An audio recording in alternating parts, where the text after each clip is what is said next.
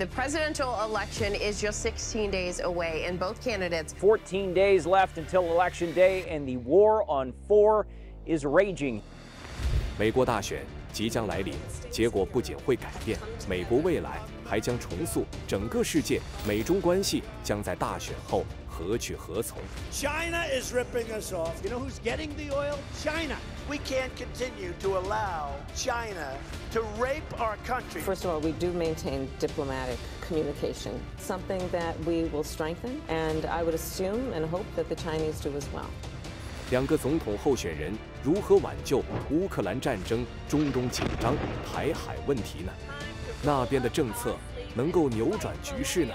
为了能解开影响我们选票的难题见证美国及世界的每一个关键变化请您不要错过。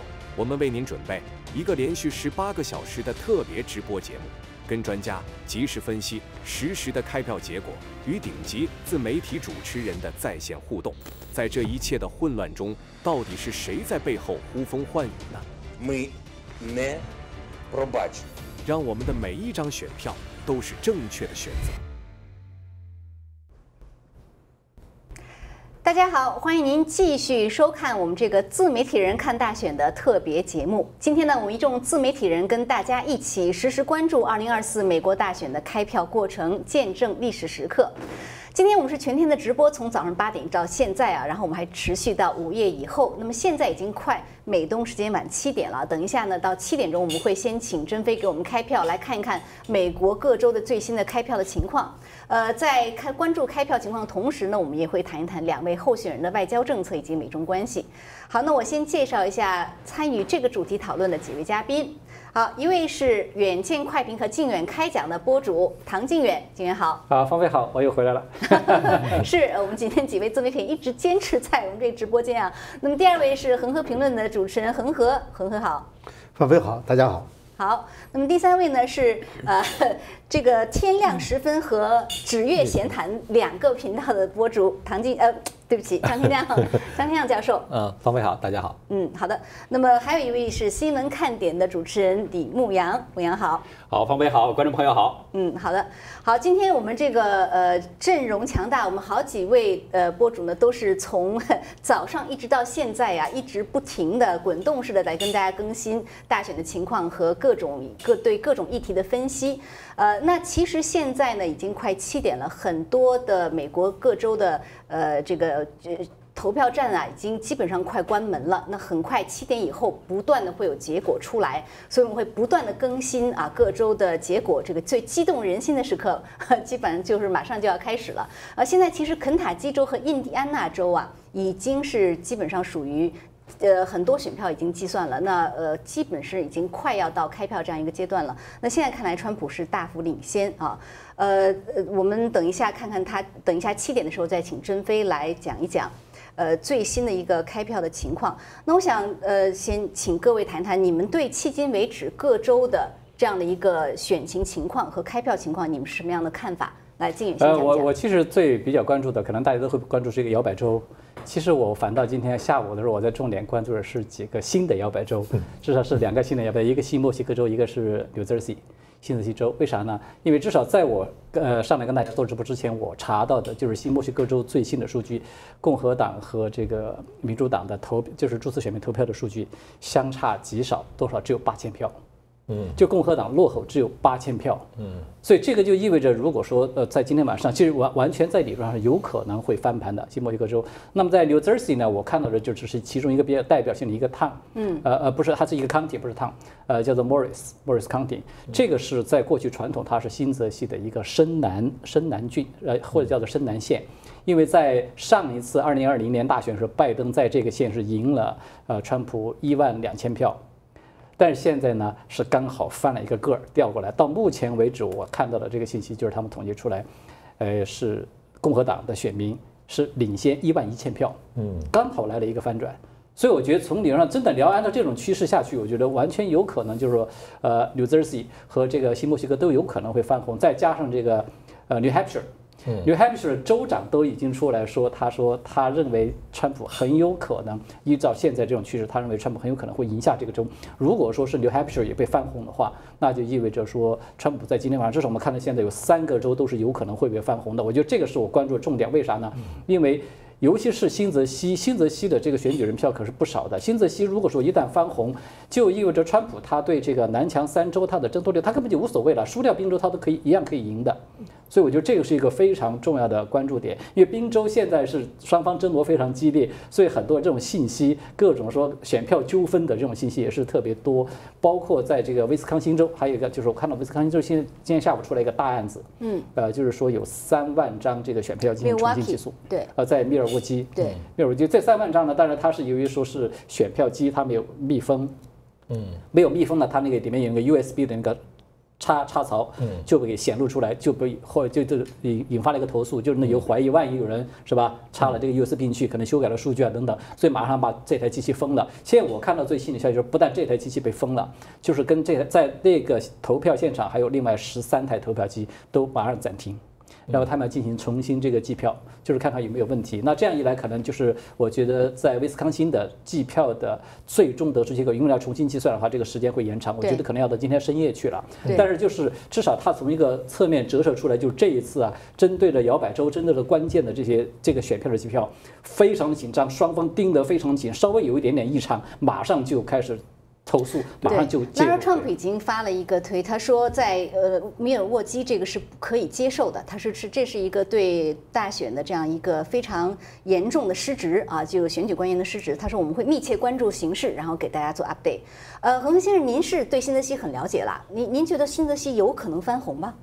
新泽西有这个很有可能翻红的，这样啊？哎，对，其实 老新泽西的，老新泽西，对我在新泽西待了十多年，其实呃呃我。最早知道川普就是在新泽西朋友圈里面，呃，他们这就比我还要早注意到川普的崛起，然后他们这些人都投川普的票，然后就跟我说，我说是吗？因为呢，我其实对美，因为我以前对这个美国的这个呃政治啊不是特特别关心，原因就是在于他建制派两党啊一执政以后都往中间靠，所以你看不出他真的有特别大的差别。所以，川普出来以后呢，实际上把这个差差别让每个人普及教育，让所有的人都知道这个呃保守和这个自由派理理念上的差别在什么地方。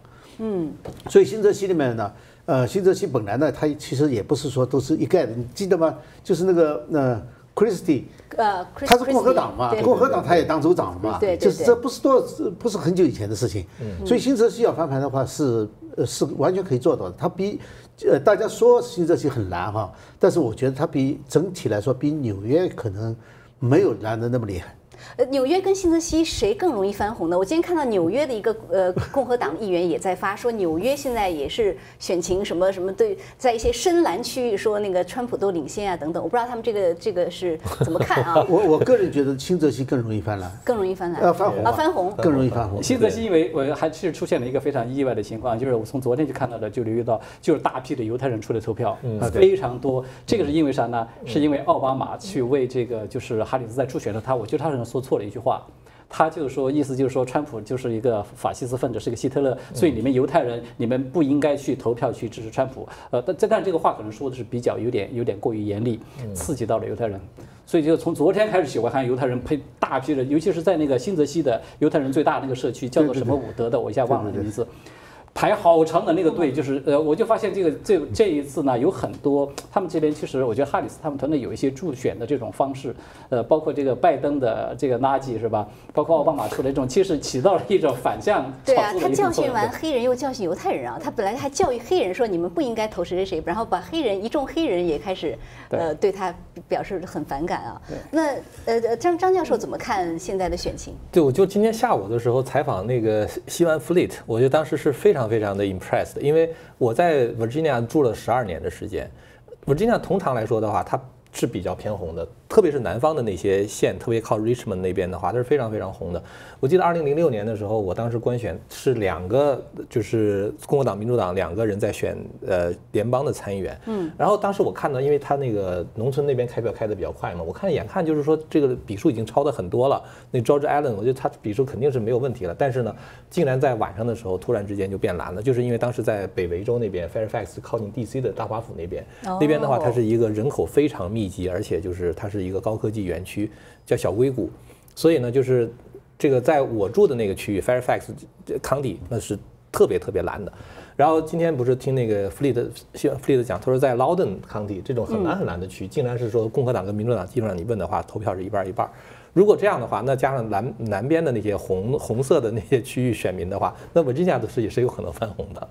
对，我今天看到是呃，就是推上有一个叫 Benny Johnson 的人哈，他说他去投票，他在 Tampa 那个大城市，佛罗里达 Tampa 大城市，他说他遇到的四个。年轻的城市的白人女性啊，urban 的这种这种 woman，他说这个应该是哈里斯的这种铁票铁票哈。她后来四个人全部跟他偷偷的说，我们投的是川普。呃，所以他觉得特别特别震惊。他说，在 Tampa 这样的大城市，按理这是呃很少出现的。对，就连 CNN 这个报道，CNN 刚才我看到才看到，就是 CNN 他们去做了一些采访，就出口民调，他们去做出口民调调查的时候，他们自己现在都开始这么报道说，就是发现好多就是告诉他们说我其实投的是。川普的票，对，所以呢，CNN 的那个就是 Chris Wallace，嗯，他呢居然出来这么一句话，就是他们在发布这份出口民调的时候，他说的非常罕见一句话，他说。哈里斯如果在这样的情况下，他还能够取胜的话，需要一个 miracle，需要一个奇迹。嗯就是 CNN，我发现现在都在开始开始就是在转调，所以我觉得就是至少到目前为止，至少我看到这个川普这边的竞选的形势非常好的。嗯，这个形势好，的，我我我开一个横炮啊，这形势好，呃，如果是这个结果今晚要是出不来，你们觉得怎么办？就是形势好这个吧。二零二零年的那个大选形势也是一片大好，对，突然间中间叫停了。是，我觉得就是要走完全过程，你要看完全过程。你当然不可能说我们现在就知道说结果一定怎么怎么样，但是它是就是我们现在看到的趋势是这样子。我相对来说会比较乐观一点。我就举个例子，刚才提到就是在密尔沃基这个例子是吧？呃，三万票，其实不光是三万票，重新还有其他几台机器都要停下来重建，很多人就会担心哇，会不会又出点什么这种纠纷呢？出现这种争议啊等等。呃，就是在今天下午的时候，这个米尔沃基，呃，就是，呃，他是威斯康星州嘛，威斯康星州的这个法院才刚刚下了一道裁决，就是对这个，呃，允许共和党的选票观察员获得所有的权限，进入这个米尔沃基的这个就是呃呃开票的现场去进行这个监督和观测。他是今天下午才通过这么一个一个有下了这么一个裁决，所以我觉得在这种情况之下，如果说他哪怕是要重新计票，或者说要走这样一些程序的话，呃，它如果真的要出现一些争议，出现一些不应该出现的现象，我觉得它难度其实还是会比较大的。也就是说，它的确有可能开票的时间会被推迟一点。但是这一次呢，说到这我才想顺便说一下，就是在我看来，如果说川普啊，假如说川普这一次赢了这个大选，就是两大功臣。第一大功臣是在前台的，就是马斯克，马斯克是替他拉票的，是头号功臣。那么。帮助川普盯着计票这个环节，我们知道选举就是两大环节是吧？一个投票，一个计票。帮让他盯住计票环节，就是川普的儿媳妇劳拉川普。因为劳拉川普这一次，我觉得他其实的确反应非常及时。几我们看到，在几乎从昨天呃从昨天开始起，其实就已经开始，因为提前投票环节出现一些关于选票的纠纷，几乎是每一次纠纷，他几乎都在第一时间马上就介入。对啊，我们要么就提起起诉，要么就投诉到当地的一个政府政府系统，或者是马上就反正有法律团队就迅速介入，来把这个东西就给介这个用他自己的。话来说，他今天发了一条推，他自己话来说，我们要在那个火灾啊刚刚出现一个小火苗的时候，我们就要把它给扑灭。是，而且拉尔川普这一次是严阵以待。这一次，我觉得他还有一个比较重要的策略，就是他自己开始 legal 类的，就是合法的收割选票。因为以前都是民主党在收割选票，去什么老人院，去什么什么疾病中心什么之类的去收割选票。这次的话，他们是自己也有 bus。把那些支持川普的人罢死到那个投票站去很多无家可归者，我看到对对罢去投票。对，然后他好像还说，就如果这个点儿排队的人太多了，他用 bus 可以帮帮你载到另外一个点。如果是另外一点也可以投票的话，你就不用走路或者怎么样，他就把你 bus 弄过去。而且像你刚才说的 Milwaukee 那个，他是昨天就起诉了。他昨天就起诉这个 Milwaukee 的这个选举委员会，因为他们不让这个共和党的这个监票员进入嘛，所以然后之后他就是基本上今天就今天就赢了。今天赢了之后，他们这个共和党的人就可以进去监票，因为这个是不合理的。你既然民主党监票员可以在那边，为什么共和党监票员不能在那边？对，所以他们这个确实有很多法律依据。然后呢，还有就是他，比如说他这个在宾州有一些状况出现，他也是很快就去起诉那个，然后他就得到这个延迟的时间，对吧？像那个 Cambria 的 County，他就是这样的这样的情况。但我看到这儿有一个哈里斯团队的，他有一个最新的动作，就是之前不是呃乔治亚州还有这个另外一个地方是亚利桑那州都有那个炸弹威胁，虽然说那个炸弹威胁呃。证实了说这个跟俄罗斯什么有什么关系，但是那是一没有那样的那个威胁，假的。对，但是呢，这个哈里斯团队他就表示说这个，我对这个担心。其实他是有这样的一个这个资格的，他可以表示担心。但是这种这种担心，你们觉得会不会影响到这个机票？我有特别关注这个案子的。呃，尤其是在密西根州，我记得是在密西根州，呃，乔治亚州是乔治亚州，乔治亚州总共引发了五五起，就是这个炸弹的这个报警的这个事件，但其中呢，只有两起是实质性的导致这个投票站被关闭，但关闭时间不长，只有半小时。呃，其他三处呢，就是很快就证实说这是一个虚假的信息，然后呢，就是实质性的投票并没有受到太大影响，而且就是被延迟了关闭半个小时，这两个投票站现在已经得到特别命令，他们可以把他们的时间再往后延半小时，延长半小时，就是把这半小时把它给补上去。所以我觉得至少到目前来看，这个炸弹威胁的这个案子呢，呃，对乔治亚州的这个大选还没有说造成实质性的影响。对，对，这次我觉得其实有一个比较重要的，就是说它不会像呃二零二零年。那样拖，甚至可能拖一个星期的时间，说还有选票陆陆续续寄过来。那这次的话，像像像 Georgia 州的话，就是到了晚上这个投票站关闭的时候，如果你票还没寄过来的话，这个票就废掉。然后呢，像 Pennsylvania，Pennsylvania 是说你的这个邮戳是不是必须是在投票日？然后从最他他最高法院的话，他也是就叫什么 sided with GOP 嘛，就是跟共和党是站站在一起。所以我觉得就是说，他只要是在这个时候截止的话，那你即使是印假票，到底印多少，你就不知道了。就是你到，因为通常来说，假如说你共和党 OK 超过了五万票，那我弄弄，我我弄出十万张假票来给你。但是现在的话，一旦到了这个日子截止出来，等到结果已经出来的时候，你再印票根本就来不及。对，选举日不是选举周或者选举月，所以我觉得美国这样的传统上的这都是当天出结果，这个是这个是从常识来讲一定是这样子的。呃，我看到说有人说关岛啊，关岛好像是呃在众院，就是说在众院的国会的席位有一个是翻红了。呃，但是他在川普和和哈里斯之间，我现在还没有看到一个结果。那我们现在也很快七点了，呃，我们来请甄飞来帮我们来介介绍一下最新的情况。呃，但是据说看起来肯塔基州应该是已经是已经定了。对，好，对，那我们现在请呃请甄飞来给我们介绍一下最新开票情况。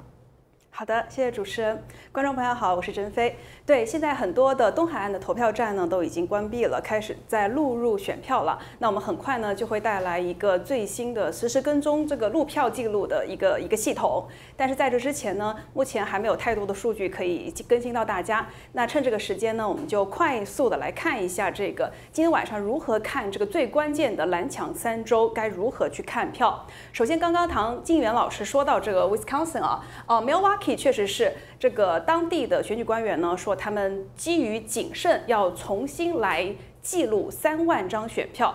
从目前各州的这个官员来看，这个选举诚信似乎是比较是一个呃比较放的更加重的一个问题了。那在这个方面呢，我们的这个信任度相信也可以比嗯可以比此前来的，我相信是更加牢靠一些。那。其实 Wisconsin 呢，虽然刚刚唐静元老师说啊是比较乐观，但是我可能有不同的观点。因为 Wisconsin 是一个非常特别的一个州，为什么这么说呢？在政治上来说啊，它这个州呢是共和党的诞生之地，但是呢，它也是这个进步主义运动的一个重要的发源地。而且从历史的整个维度来看呢，这两党在这个州其实是真的是难分伯仲。比如说从1944年到1984年这四十年间呢，共和党。是赢了八次，那从一九八八年到二零一二年，民主党赢了所有的选举。二零一六年的时候，川普以非常微弱的优势，就是百分之零点七，呃呃小小的胜了这个 Wisconsin。那二零二零年的时候呢，拜登也以非常微弱的优势，百分之零点六胜了呃拿下了 Wisconsin。所以。从这个历史的这个政治的记录来看呢，Wisconsin 确实是比较难看出来它到底会倾向于哪一个候选人。这个跟他的这个呃族裔也是非常有关的，因为 Wisconsin 呢，它并不是以少数族裔为主的一个一个一个州啊，大部分的人群呢是非西班牙的白人，占了百将近百分之八十。那特别值得一提的是，在二零二二年的时候，呃，最近的一次这个选举啊，呃，州长呢是由民主党人连任了，但是呢，却诞生了一位共和党的参议员。所以，到底 Wisconsin 是倾向于民主党还是共和党呢？现在好像还很难说得出。对，所以我认为 Wisconsin 呢，它会这个选情会非常焦灼，不管哪一位候选人胜出来，它这个差距呢，我想可能都不会太大。这就是 Wisconsin。那今天晚上我们该会看主要哪些地方呢？一个当然是 Milwaukee 这一个地方所在的这一个呃县了。那这一部分呢，主要是民主党人的票仓会比较集中。那特别值得一提的是这个 Green Bay 这个 area，这个地方呢其实是啊 Brown County。Brown County 呢一直以来是共和党人的一个呃根据地啊，就共和党人的一个一个非常占据绝大优势的。但是随着近些年，其实民主党人在这个地方的差距正在拉小，正在缩小，所以这个地方也是一个看一个看点。到底今天晚上开票的情况，这个地方民主党人会不会跟共和党人的差距比较弱？如果比较弱的话呢，再对比到这个 Milwaukee 州的这个这个 county 的情况，那么我们其实大概率的可以去分辨一下，到底 Wisconsin 可能谁胜出的概率会更大一些。好，那么嗯，现在就到这里。呃，那很快呢，我会继续来跟大家去更新一下新的情况。那也请朋友们继续跟踪我们的节目，二零二四美国大选特别节目很快就要到激动人心的时刻了。所以呢，请朋友们一定不要走开，我们很快再见。好，谢谢珍飞啊。那我们呃现在线上呢已经连上了呃一位自媒体人。呃，就是吴建民先生。吴建民先生在油管上有自己的频道，是吴建民。呃，吴建民先生您好。你好，方伟好，观众们好。听不见声音。呃，好像声音有点呃有点问题啊。我们来很快的看一看这个声音的能不能解决。那我现在呢没有办法听到吴建明先生的声音，呃，请技术很快解决一下。呃，那我们来看，哎，现在好像，呃，请吴建明先生讲两句话。声音听不到吗？哦，可以可以可以可以吗？可以可以听到了听到了。呃，各位朋友们好。嗯，好，建明好，非常感谢你加入。吴先生好。好，呃，那其实我们来看一看啊，我其实对于很多的华人来讲呢，这两位候选人呢，呃。大家也在关注他们对于中国、对于中共、对于台海是什么样的态度啊？呃，我想建建明，你你上来就先请你讲一讲，呃，在你看来啊，就是川普和哈里斯这两位，他们谁对中共更强硬？那在中国和台海问题上，他们都是什么样的立场呢？呃，我觉得这个问题很简单啊，这个拜登执政这么四年，哈里斯是跟拜登呢一起在白宫里面，呃，按照拜登的讲话就是。他所有的决策，哈里斯都参与了。那么，拜登对台湾的政策，我们大家看得很明确。拜登一开始对台湾，他说他要保持着叫做战略模糊。所谓战略模糊呢，我就不跟你中共撂明了，我究竟对台湾呢？如果你对台湾想模糊的话，我美国究竟是动你的手，还是不动你的手，还是对你中共什么态度？我现在呢，不跟你说明。这是拜登一开始。刚刚执政前两年，拜登呢是属于战略模糊，但是呢，拜登呢后来就是最近，拜登这么近一两年里面，他都明确说过，他不止一次说过，就说你中共你习近平你要敢武统台湾呢，我美国就要出兵了，我要派兵打他。他这个话每次讲完。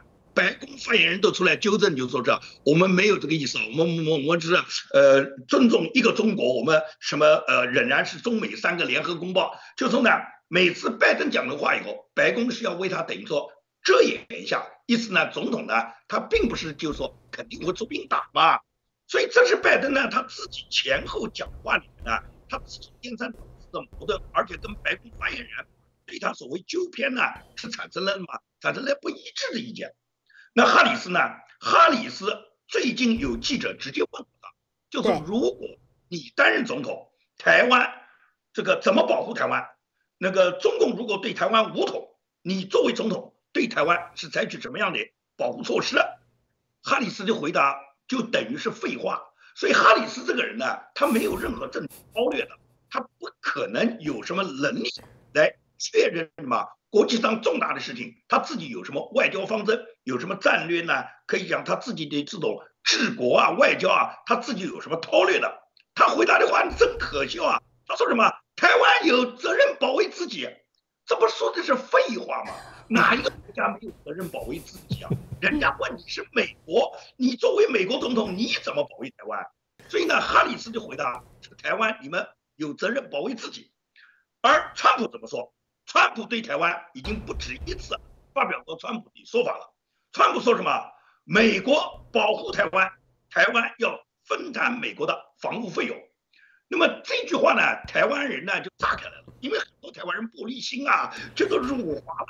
这个川普我们收保护费啊，是黑道大哥来敲诈勒索啊。也就是呢，很多台湾，你看，包括我们上次去台湾观影的，我们认识的很多人啊，就是台湾的一些主流的一些媒体、一些自媒体人、一些社会的贤达，包括那个退休的将军啊，这个叫张廷炎的，那义愤填膺啊。我们台湾，我们有骨气，我们自己保卫自己，我们不要给你美国人交钱，你他妈的勒索勒索走到我们头上来了。所以呢，台湾人呢是玻璃心碎了一地的。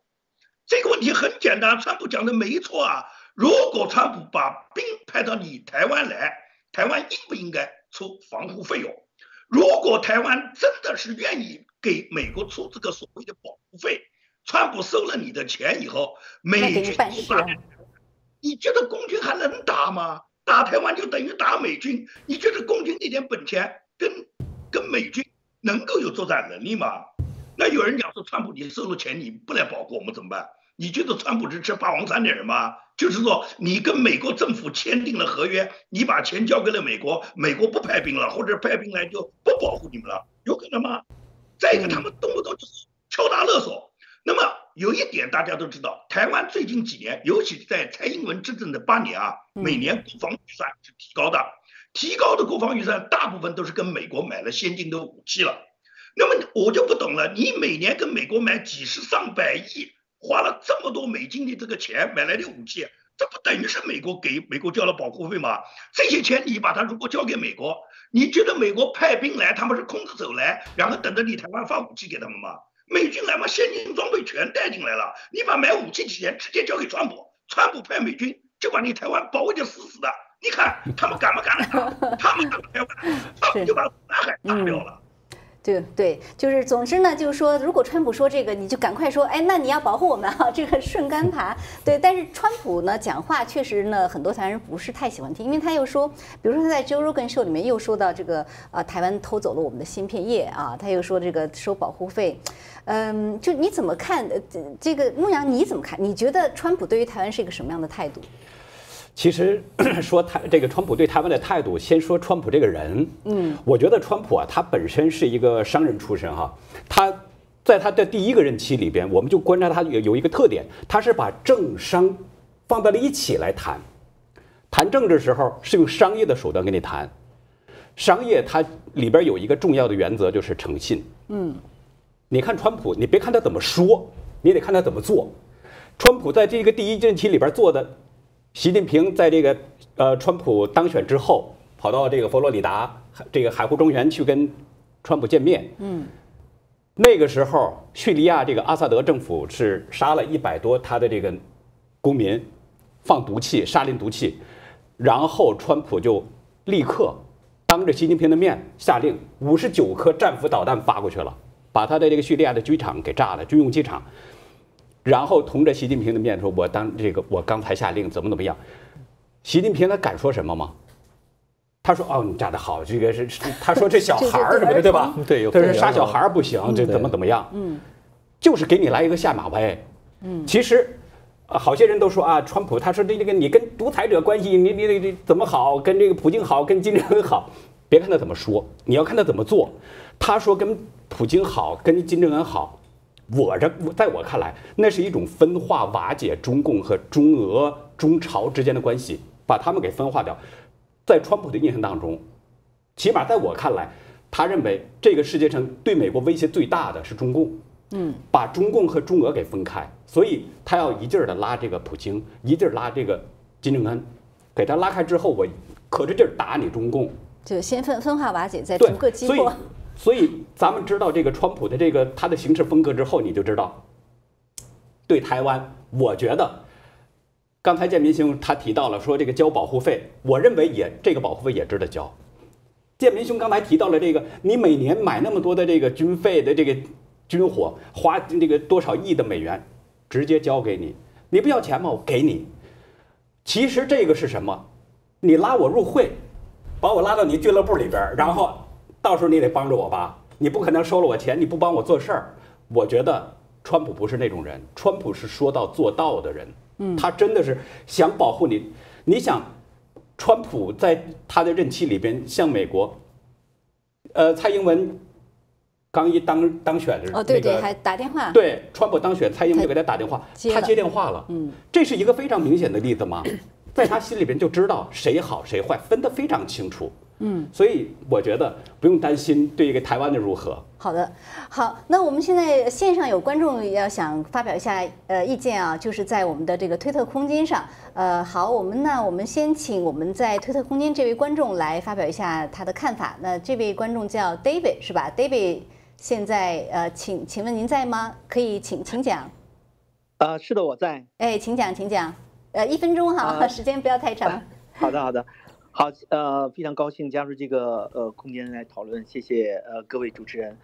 呃，我有一个问题就是说，嗯呃，假设这次 Trump 呃当选了，然后呢，State 呃 Congress 和那个 Senate 都在呃共和党呃这个占多数，那么这个呃我们一直在说的这个 paper 呃 ballot 呃 vote in person open to U.S. citizen 这这三个呃是呃要求能在就是在共和党占多数的情况下，在接下来的四年中实现吗？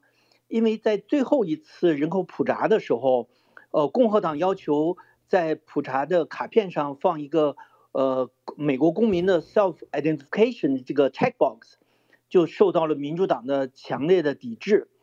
嗯、那么还有一个就是说，如果只是 self identification，那么怎么去 verify 这个这个呃 resident 他们提供了正确的，对吧？他提供了正确的信息，因为在我印象里，好像嗯这个是否美国公民这个 information control 在这个 Homeland Security 和这个 voting 的这个 agency，他们好像是不是不可以互通信息去 verify 这个人是不是美国公民？呃，这这就是我的问题。嗯，好的，谢谢哈。呃，其实对，其实这个呢，就是马斯克最近一直在发，我看有很多人附和，就是他认为美国投票制度应该改改改改善啊。一个就是说，呃，纸质投票，一个是人亲自去投票，一个是人工计票。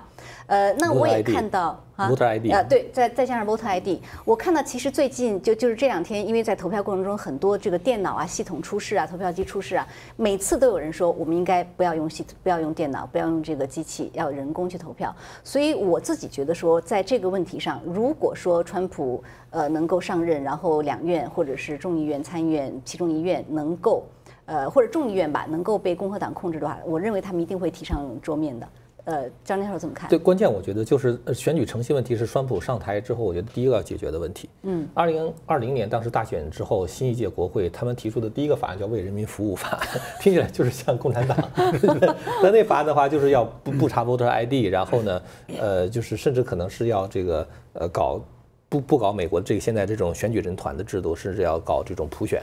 呃，所以就是我觉得川普上台之后，我觉得第一个首先要恢复大家对民主的信心。如果连这个选举诚信都不能够有保障的话，大家都觉得这投票是假的话，这个社会其实是对这个社会分裂是相当分裂的。呃，我觉得川普搞这种普查上面加一个，比如说你是不是美国公民这一点，我觉得是一个非常非常关键的点，因为实际上就是说有多少美国公民来决定这个国会选区的划分，因为它是按照这个人口来划分的。这一点我觉得，如果你不是美国公民的话，其实是不应该在。就是你要在人口普查，比方说我不是美国公民，这样的话，他们在划分选区的时候才能够比较合理。呃，我觉得这个事情如果川普想做的话，他自己通过行政命令是没有问题的，嗯，这不违法。不违法。何何先生是不是这个选举结果已经出来三个州了？哦，啊，对，现在出来这是无悬念。对对，呃，对对，路透社的数据啊，对我看到那个印第安纳像州、肯塔基州已经获胜。对，呃，刚才靠靠那个个 Vermont for Harris 的时候，Vermont 是零票零 percent，我刚才看，但是已经靠 Vermont for Harris，这可能就是根据过去的历史做的这么一个决定。嗯，对，印第安纳跟肯塔基呢是已经获胜，对，所以那是没有问题的。对，我们的屏幕也显示出来了。嗯，对，川普拿到十九票。是，呃，对，恒恒先生，我想也问，请请请您讲一下，因为其实我看到现在也有人在说啊，这个选举人团制度是比较也要改变啊，或者是变成普选啊，或者是就是这个，呃，您怎么看这个问题？呃，这个选举人团制度是一直流传下来的，我觉得要改的话非常困难。你国会要要去改，把这个选举制度改掉的话，哈，我觉得恐怕不是说简单多数就能够改掉的。要简单多数的话，那哪一个党控制了这个国会？他不就把这个改掉了？嗯，肯定是三分之二票，这个没有办法的事情。我个人觉得想改，暂时你也改不了，因为当时选举人团的制度实际上是，因为这个，我觉得当时倒是有一个说法了，当时就是美国太大了嘛，你如果说是每个人都要去投票的话，计票的话，这是一个巨大工程，可能是集中在某一些人代表，呃，建选举人团。对。但是现在看来的话，我觉得虽然说。呃，其实美国选举制度里面有有很多问题，这些问题如果说全部一揽子的要改的话，要达到全国共识才能够做到，不大容易的。但是选举人团制度，我个人认为其实是美国这种民主共和制度的一个体现。它是共和制度的一种体现。对对对。如如果是完全是普选票，谁普选票拿的多的话，那就变成一个纯民主，多数人的暴力嘛？就变成民主，对，多数多数纯民主，它就不再是个共和国了。对对。美国是一个 constitutional republic，限制宪政之下的共和。而且我觉得，就是说，呃，即使川普真的他想做很多就是这种呃激进的改变的话，如果针对美国做重大改变的话，在参议院还是很难通过。即使是参议院能够拿到多数，这实际上也是为了美国国父们在设计美国制度、为了制度的连续性和稳定性的时候做的这么一个规定。而且这种选举人团制度，它其实等于是要可以照顾那些小州的利益，让这些小的州他们能够在。这个如果没有选举人团制度的话，谁管你密西根州，谁管你威斯康星州？我只要拿到其他别的州的选票，收割的越多越好。他这样的话，他等于有选举人团制度，他注注重每一个州他的他的意见。而且城市和乡村其实都都会有他们的声音都会被听到，而不是说我觉得关键还是个诚信问题，就是恢复到这个 ID，呃，你一定要有个 voter ID，然后呢，这个呃当天选完，对，呃，其他的事情都。都不记，先把这两件事情记下来，然后呢，最好呢是回到台湾只只是选票。像对，像台湾对我们这个年初在台湾观选的时候已经看到了。好的，这个我们已经讲过了，就是呃，印第安纳州和肯塔基州川普获胜，然后佛蒙特州哈里斯拿下三票。好，那我们回到我们呃。刚刚才谈到这个问题，呃，静远，我想听听你的意见，你怎么看川普？就是经常在讲话中时不时的说啊，台湾偷走我们的芯片啊，然后我们又要收保护费啊，又这那的，就是让台湾人听了很不爽。我觉得其实这个是涉及到一个理解问题，因为要在这个英文这个语境语境这个在这个里面说是叫做他用的那个词叫做 steal 是吧？呃，就是叫做偷走生意。其实你把它中文翻译出来的时候叫做偷走了这个生意呢，你就感觉好像有一种道德上面一种非常不道德、非常呃，就是一个一个谴责的一个意味在里面。但是其实，在英文语境之中呢。呃，其实我觉得把它翻译成叫做撬走生意会更合适一点。也就是说，这个其实，在商业领域上说，你你你把我的生意给撬走了或者怎么地，它只是一种商业竞争上面的一个术语，这是很正常的，是吧？商业嘛，就是尤其是这个市场经济都是自由竞争的，你做的比我好，你把我生意就是撬走了，呃，那那你你就只只有怨天尤人，是吧？就说这个意思。所以我觉得，其实在这个问题上，可能存在这样一种理解：中文把它说成是偷走了生意，很多人，尤其是很多台湾朋友，可能听起来就觉得哇。啊，怎么回事儿？呃，我我哪里偷啊？我光明正大的是吧？我没有做任何这种就是不道德的事情，你怎么会说我们偷你的东西呢？啊，其实我觉得这个是有这么一个差异，这是第一个。而且第二个呢，就是川普他过去一向都这么说的，就是他因为他要美国第一是吧？美国优先，美国制造，他反复这是他的一大政策理念。就是希望这个制造业能够回归美国，所以呢，他就老是喜欢说谁谁谁抢了我们的，呃，把我这个产业链，你看把我们抢了，中国把我们的这个抢了，然后呢，台湾又把我们这个生意给抢了，啊，他这个我觉得他可以在对他来说已经是一种非常普通的一个指责。至于说那个收保护费这个问题，其实我觉得这个很简单，呃，我觉得川普呢，呃，他甚至我觉得他可能是一种政治技巧。就是说，你如果说将来真的是在台海可能是出现一个爆发战争的这样一个问题，你去争论说美国要不要出兵，你美国要不要去承认那个一个中国原则，要不要这个什么反台独，那些政治概念，这个讨论起来太复杂，他就把它给一扫而空了，他把它完全给简化成一个非常简单的这个商业交易关系，你交钱了我就保护你，对吧？我就开保安公司的，然后你交了我钱我就保护你。他就把所有那些政治纠纷全给回避掉了。其实我不管他是有意还是无意，我觉得他客观上其实对台湾来说非常好的一件事情。那对台湾来说，只要我交钱，你就保护我，那我就在你这儿，我就相当于是给一个保安公司预定一张票一样的，是吧？那其实这个是非常嗯对台湾有利的一件事情。其实我觉得是这样哈，就是说如果呃那可能很多人他就会有一个想法，那如果比如说台湾给了十亿，那中共给二十亿的话，那你还要不要保护台湾？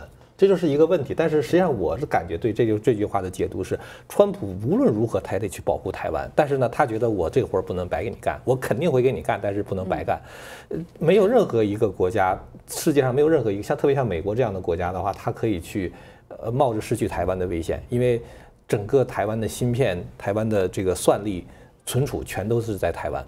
而且就是说，真的，你想把台湾的这些呃生产芯片的能力搬到美国来，他发现很难啊。在亚利桑那要设一个厂，本来二零二五年明年要就要开工的，但现在发现二零二六年的时候可能才能够开始生产，因为美国它有工会，然后很多效率非常的低下，特别是现在左派又在阻挡那个台湾真正有技术能力的人到美国来，因为他们如果到美国，他们说这个我们这边真正懂得这个方面的人才太少，我们需要从台湾引进一百个人。结果国土安全部告诉那个美国驻台的办事处说不要给他们发签证。这样的话就等于是延宕极大延宕了亚利桑那这个生产的能力，所以我觉得就是说在这种情况下，没有任何一个国家会说 OK，我们没有台湾，就我们的所有的芯片都归中共了之后的话，我们还能活下去？你那时候就被完全被中共卡死了。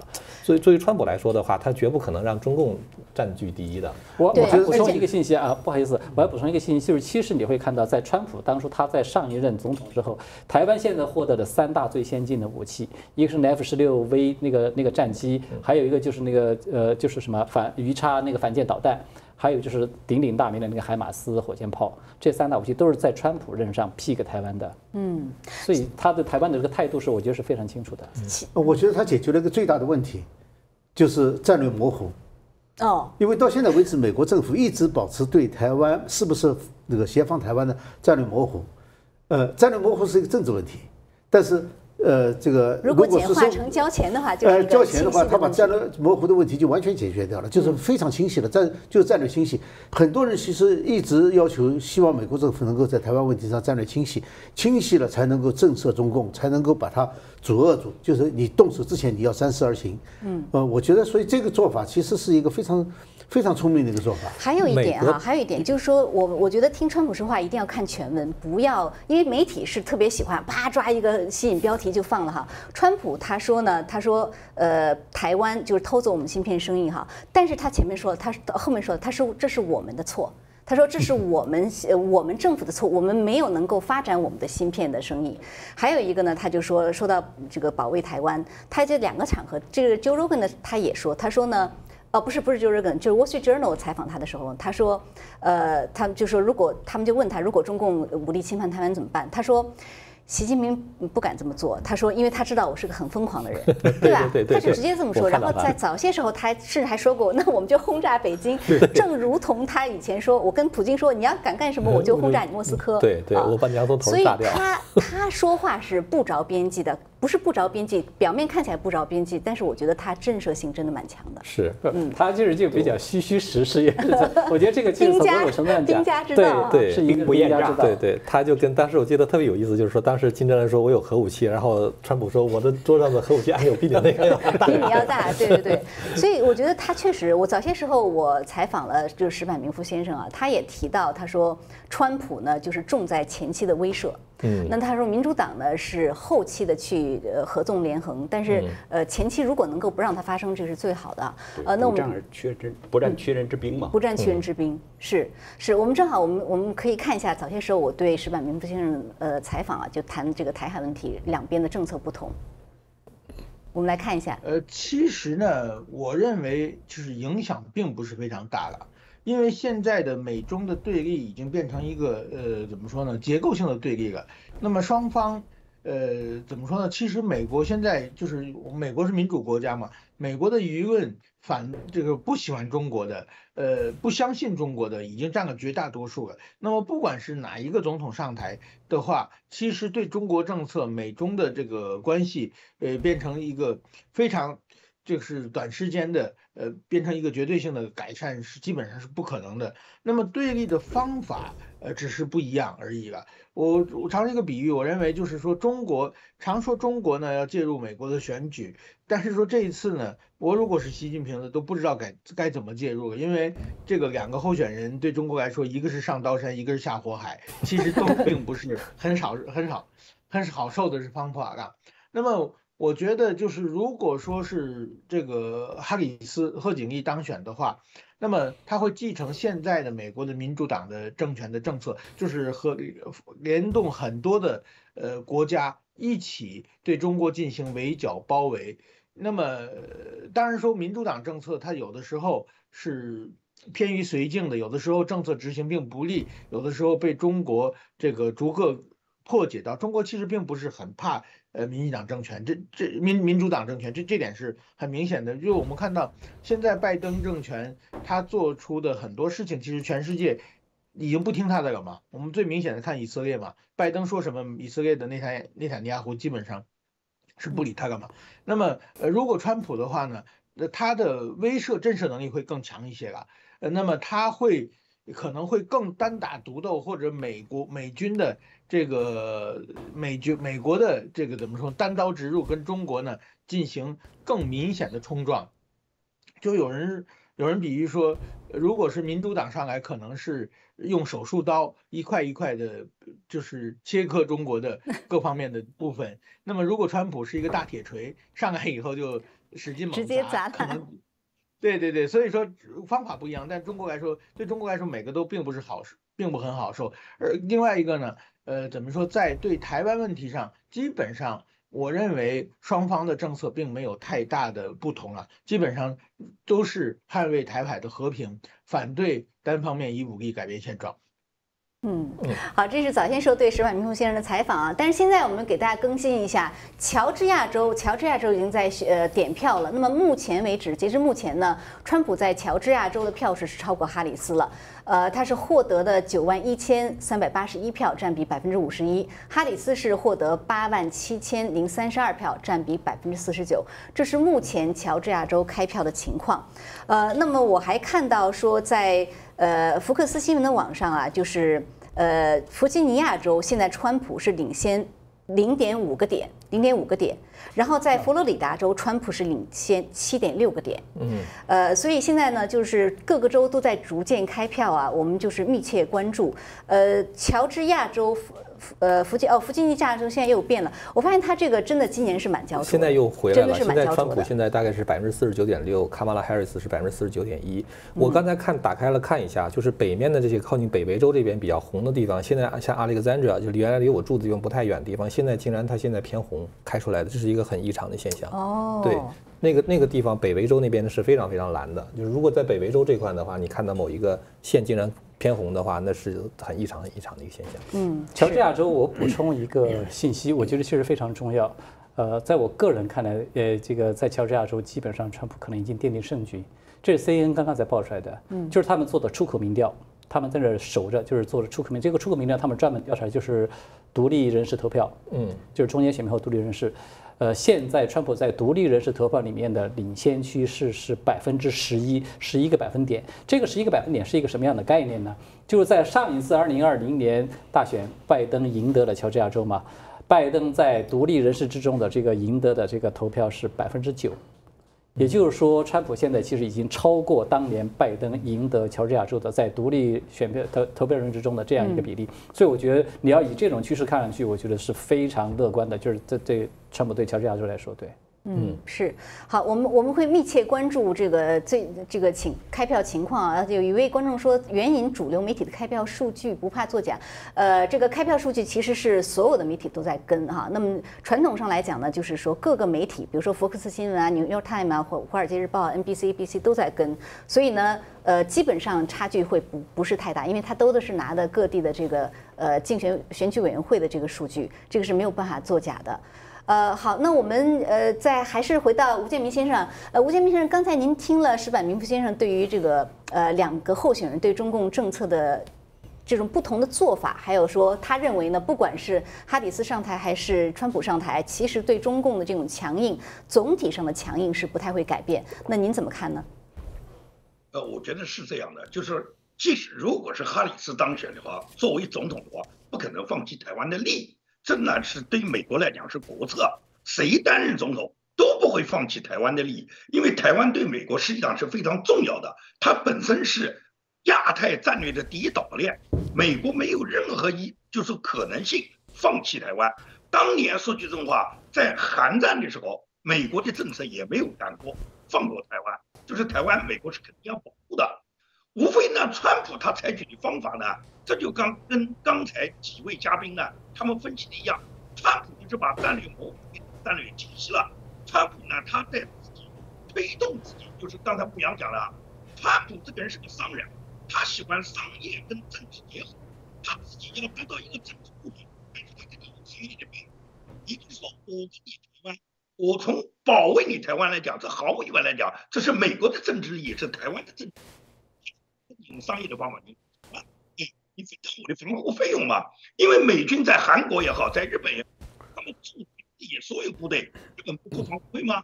韩国不收防护费吗？美军在这个北约那么多国家有驻军，难道北约国家不要收防护费吗？它本身是很正常的一件事。川普他讲这个话，除了对台湾，他需要就是以收防护费为名，最终就把美军呢就派来呢驻扎保卫台湾了。这样实际上要川普要达到一个非常明显的目的。你看啊，川普是一个非常爱惜自己这个脸面的人。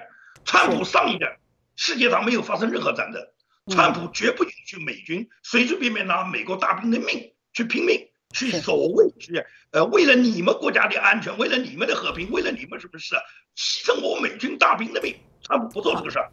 好的。所以说呢，川普他之所以讲这个话，他就不希望。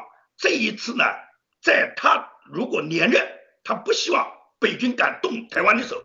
我都派兵保卫台湾了，你习近平，你发疯了？你敢来吗？我是个疯子啊，对不对？我比你更疯。对，呃，好，哎，我想呃更新一下，现在在福克斯新闻的网站上呢，川普拿票是二十三票啊，就是他把那个西弗吉尼亚 （West Virginia） 的四票也拿下来了。呃，这些都是当然都是意料之中了，就是基本上是红州了。所以现在呢是印第安纳、肯塔基和西弗吉尼亚。呃，那么这三个州拿下来，川普拿的是二十三票。那么现在，呃，哈里斯是三票。那我们还会持续看一看啊，就是下面，呃，看下面一个出票是哪一个州。很多州的它这个投票站都是在八点关门，在八点关门。所以现在呢，是一些一些选举的结果慢慢的在进来哈。但是呢，就是呃八点以后可能会有更多的有更多的这样的一个情况。呃，好，那我我想就是也请你们几位分析一下，就是呃，今年这个美这次美国大选，中共那边好像比较低调，我不知道你们怎么看？就是中共，呃，他希望谁上台？他他还是说像 刚才是阮明峰先生说的，这个一个上刀山，一个下火海，没有什么区别？你们怎么看？其实中共心里边很清楚。就像这个石柏明夫先生说的，上刀山下火海没什么区别，反正都是死。嗯，谁上来对中共都不会软的。嗯，哈里斯虽然是个女性哈，但是她上台的话，呃，她一定会延续拜登的那个政府的一些对中共的那个政策，比如说关税啊，或者是。你看拜登政府哈，拜登其实他，呃，都说他年龄大了哈，说话可能是糊涂了，说五次说，如果中共打台湾，那么美军会协防台湾，会打中共。你不要看他怎么这么说，然后你再看他后边白宫的给他那个往回圆，其实我觉得这就是双簧，美国政府在唱一个双簧。嗯，前边给你放硬炮，后边给你稍稍往回拉一下，胡萝卜加大棒打你，让你中共知道，美国不是说你想对台湾如何，美国就一点不管，不是那样。嗯，哈里斯如果延续拜登这个政府的这个对中共的政策、对台政策，一定不会太软的，包括关税啊，包括这个其他的方面对中共，一定会仍然的像现在这样。虽然说可能呢会有一些回收一点，毕竟是女性嘛，我觉得中共应该是了解的。呃，在赖清德上任之前，就是台湾大选之前，去这个去哪一个国家？赖清德去那边，然后那时候哈里斯和赖清德有一次会面，你你们有没有印象？是在大选之前吗？对，大选之前。哦，是在好像没有太不太记得了。是在嗯哪个国家？我想不起来了怎么样？他跟赖清德有一个会面，嗯，你想他们会谈什么？赖清德的那个选情，那个时候虽然还没有台湾进行大选，但是赖清德的那个选情也是非常的高涨的。嗯那时候其实哈里斯是代表拜登政府在跟这个赖清德有那样的一个会面的，那就是其实就是交底，他们有一个单独会晤的，其实就是交底。嗯那现在这个哈里斯上任之后，假如说啊，现在还不知道这个结果嘛？假如说哈里斯如果上任的话，那么对台湾的这个一定是像拜登政府这样，拜登政府这样一一直是这样。嗯那么刚才川普的那个已经都说了很清楚了，川普对台湾绝对不会放弃的。嗯收那点保护费，其实呢，中国有句话叫“我管你是情分，不管你是本分”，这是就是说民间的一种说法。你中共要是打台湾的话，作为美国来讲，我不管你行不行，说得过去。但是因为有很多的利益，美国不可能不管，这是这是肯定的。嗯，如果我收了你点钱，就像靖远先生讲到的这个，把所有的那些障碍全都给拿走了，我就可以直接帮你名正言顺。嗯把这个事儿我晾到这儿之后，中共他绝对不敢再动了。嗯其实就是我觉得，不管是川普也好，哈里斯也好，台湾都把心放下，安安静静的就看着这个大选。嗯，我想中共也中共也在看这个大选结果。他们非常清楚，嗯，谁当选都一样，所以中共就没有什么话说。嗯，好，那我们现在已经是七点三十六分啊，我们还是看一下这个大选开票的最新结果。我们现在请珍飞来给我们讲一讲啊，有什么最新的状况可以给大家更新的？珍飞，好，珍飞，请请讲。好的，谢谢主持人，观众朋友好，开票了，我们等了很久了，等了十多个小时，终于等来了这一刻。那现在呢，已经有非常多的信息我们可以解读了。大家可以看到，现在哈里斯拿到了三张选举人票，然后川普是二十三张选举人票。那非常有一些意外，也有一些不意外的地方啊。首先，这个 Vermont 以及 New Hampshire 都已经泛蓝了。那 North Carolina 也泛蓝了。North Carolina 是一个摇摆州，关键的摇摆州。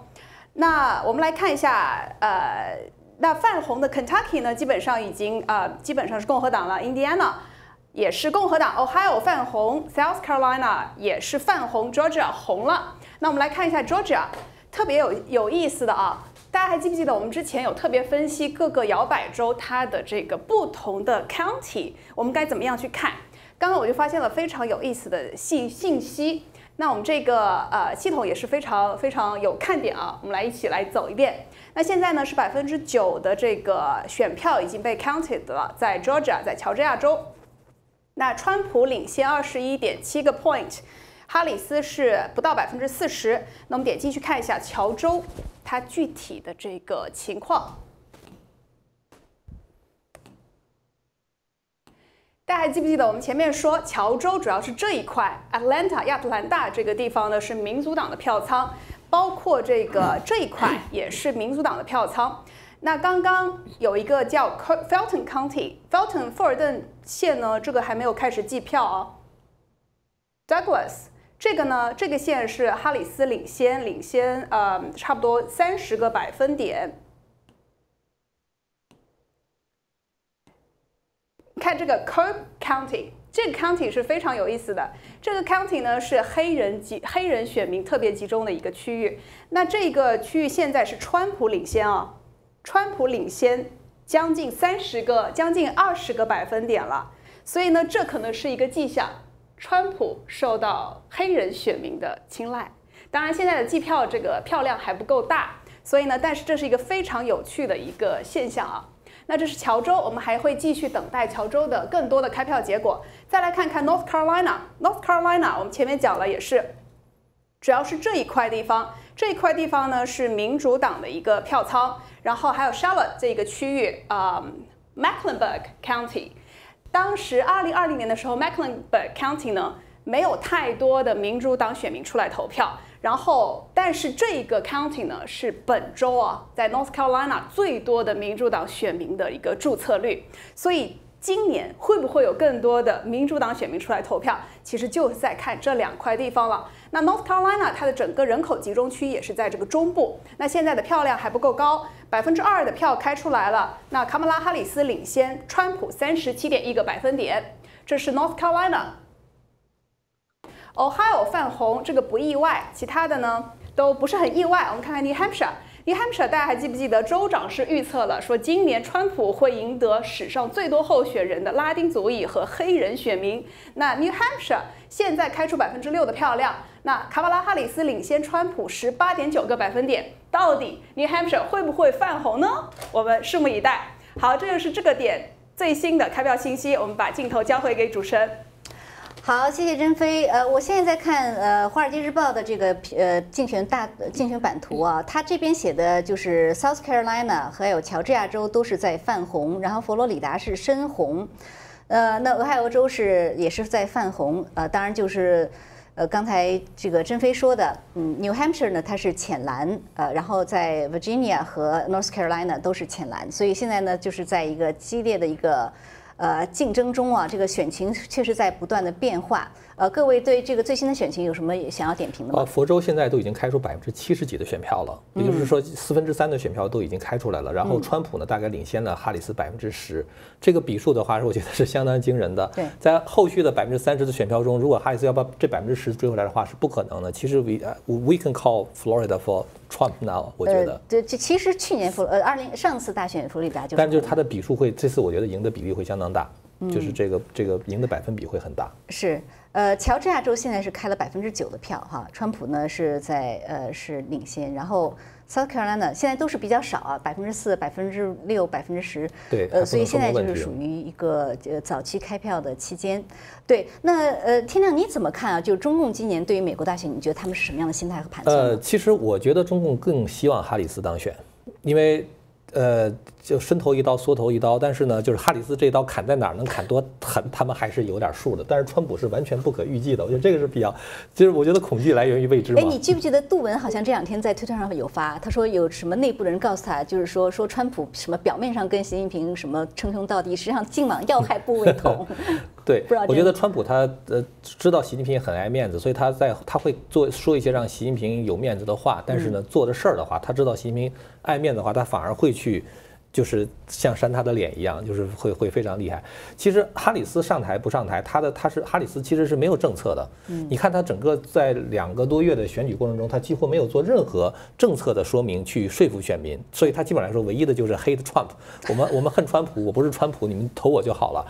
因为他其实他根本就不制定政策，他也没有想法，他实际上是背后的那个机器。那个机器在过去操纵拜登是怎么操纵的，制定什么政策，那么在哈里斯身上的话会是一模一样的。所以哈里斯上台一定是延续了过去民主党对华政策，包括对俄罗斯、俄乌战争，包括对中东地区的政策。但是川普是一个不可控的人，川普是自己要做决定的。嗯，所以这方面我觉得中共可能会更惧怕一些川普，就他是你不知道他会做出什么疯狂的举动。嗯，呃，何文先生怎么看？我觉得川普是这样的，川普呢是一个，呃，就是自己拿主意的人，嗯，是别人听他的，所以他的班子呢，呃，为什么他第一任期时候老换？他自己也说他雇了很多坏坏人，所以这届就要有一点经验了，要要不雇坏人了。其实是这样的，因为整个这个官僚系统啊，它是一个建制建制派的，呃，所以他一个人闯进去后，他当然他必须用原来系统的人，那这些人能不能被他用？是一个问题，但现在过呃就已经比较清楚了，嗯，就是哪些人能被他用，所以他为什么老换人呢？就是因为那些人是按照常规做事情，他不按常规做事情，所以别人呢跟他适应不了嘛，他只能去找别人。现在已经知道谁能够适应他，谁能够适应他了，所以他会呃手段更多一些。第一个任期的时候呢，他主要是扭转重大政策，但是具体措施很少，嗯，除了加税以外，那个那。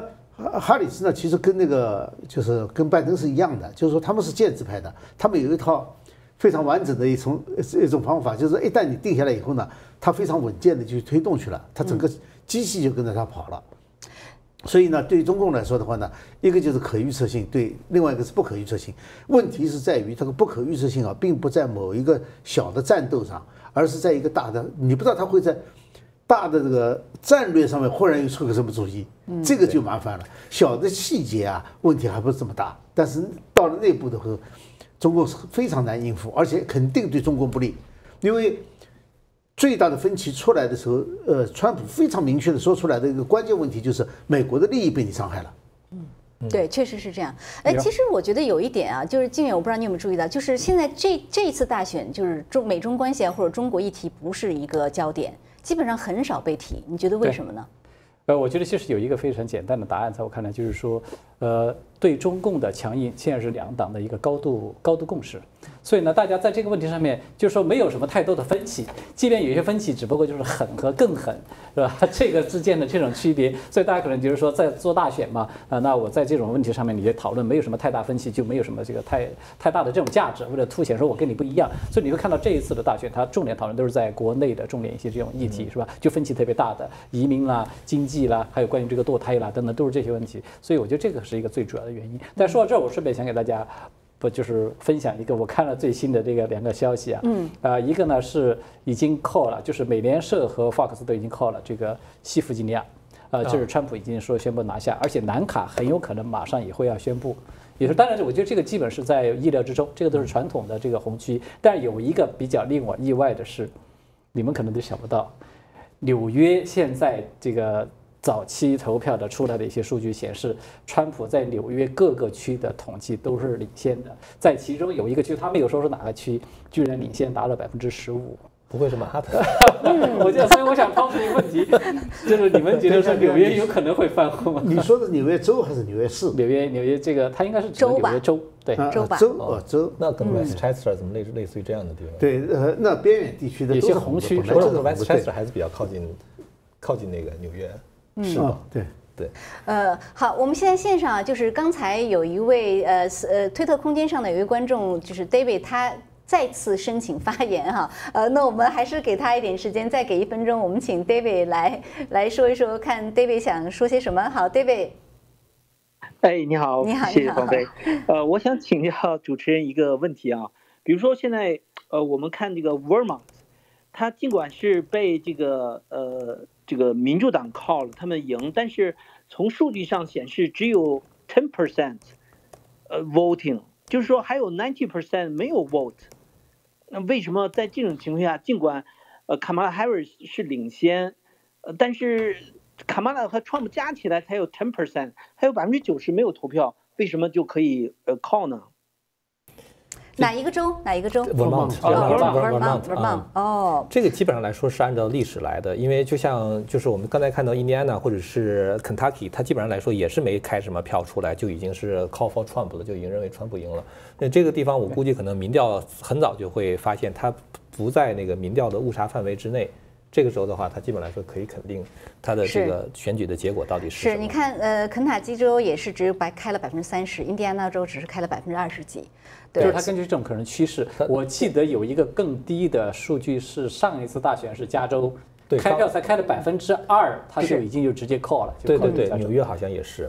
嗯，纽约是也是，咱们看今年看纽约怎么样啊？对，我觉得我觉得没有关系，它这个这个这个基本上哈，就是有一些州是约定俗成的。当然，如果万一出现盘面的不一样，它它最终还是会变。但是基本上这些是他们传统的州，而且它一路在点票的过程中，可能它是一路领先，所以我想它就是这是为什么媒体基本上就把它这几个州就 call 了。那现在最新的情况呢？呃，我看一看纽约州，我这边没有看到。更多的八点八点哈，八点，纽约也是八点啊，那可能就是我们就是等八点以后啊，八点这个是个关键时刻。呃，好，那最后我还是想请吴建民先生，最后呃有没有什么呃对于中共呃对于美国的这样一个盘算啊？呃，有有或者是就是美国这个今年的大选为什么这个美中关系的不是主题？呃，你有什么更有什么想法？请您最后补充几补充一些。这个我这个跟刚才靖远的这个发言啊，我觉得他这个讲的呃跟我的想法是很一致的。因为呢，两党就是哈里斯和这个川普啊，在中国问题上面啊，大家基本上就是没有什么分歧。就是打击中共呢，这是属于两党的共识。现在不会有哪一个党的竞选人会讲说说我们要跟这个中共搞好关系，我们要这个等于说是不能够去打击中共，把中共仍然当朋友，这已经是不可能的了。美国现在都把中共视作美国的威胁，但是呢，做法上是不一样的。民主党呢，他呢是明确的态度，我们跟中共呢是属于不脱钩断链，我们只是去风险化。这个呢，拜登啊。呃，包括这个沙利文啊，到北京去呢，都是表达他们这个想法。几个部长，这个财政部长啊，珍妮啊，还有商务部长雷蒙特啊，到北京都是这个想法，叫做去风险化。但是川普呢，他呢是采取什么？美国优先，美国利益被你中国伤害了。川普是非常反对民主党搞的全球化，因为全球化最大的受益国就是中国，大量的美国产业全部到了中国以后呢，把美国掏空了。尤其你们注意没注意到，川普这次选择他的副手万斯，万斯是住在一个铁锈区的，就是阿巴拉契亚山脉的所有的这个铁锈区。本来这个铁锈区都是美国繁荣的美国的制造业，而制造业自从民主党搞了这个全球化以后，就把整个阿巴拉契亚山区的所有的这些州，传统的美国白人。而且是白人里面是以蓝领为主的，就是以传统的从苏格兰、爱尔兰移民到美国的，驻扎在美国阿巴拉契亚山脉地区的，以传统手工业制造业为主的这些美国的产业工人，他们基本上就下岗了。这些人呢，他们处于社会上完全是被别人就遗忘的一族。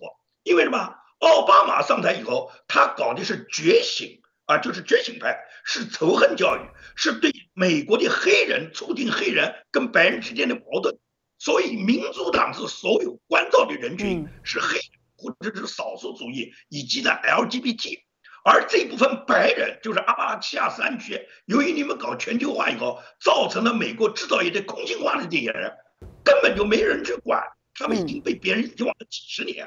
所以呢，川普一直选择万斯作为自己的副手，就是什么？要让美国的制造业回归，要让所有美国那种过去被你们掏空了的产业啊，让你们回到美国来。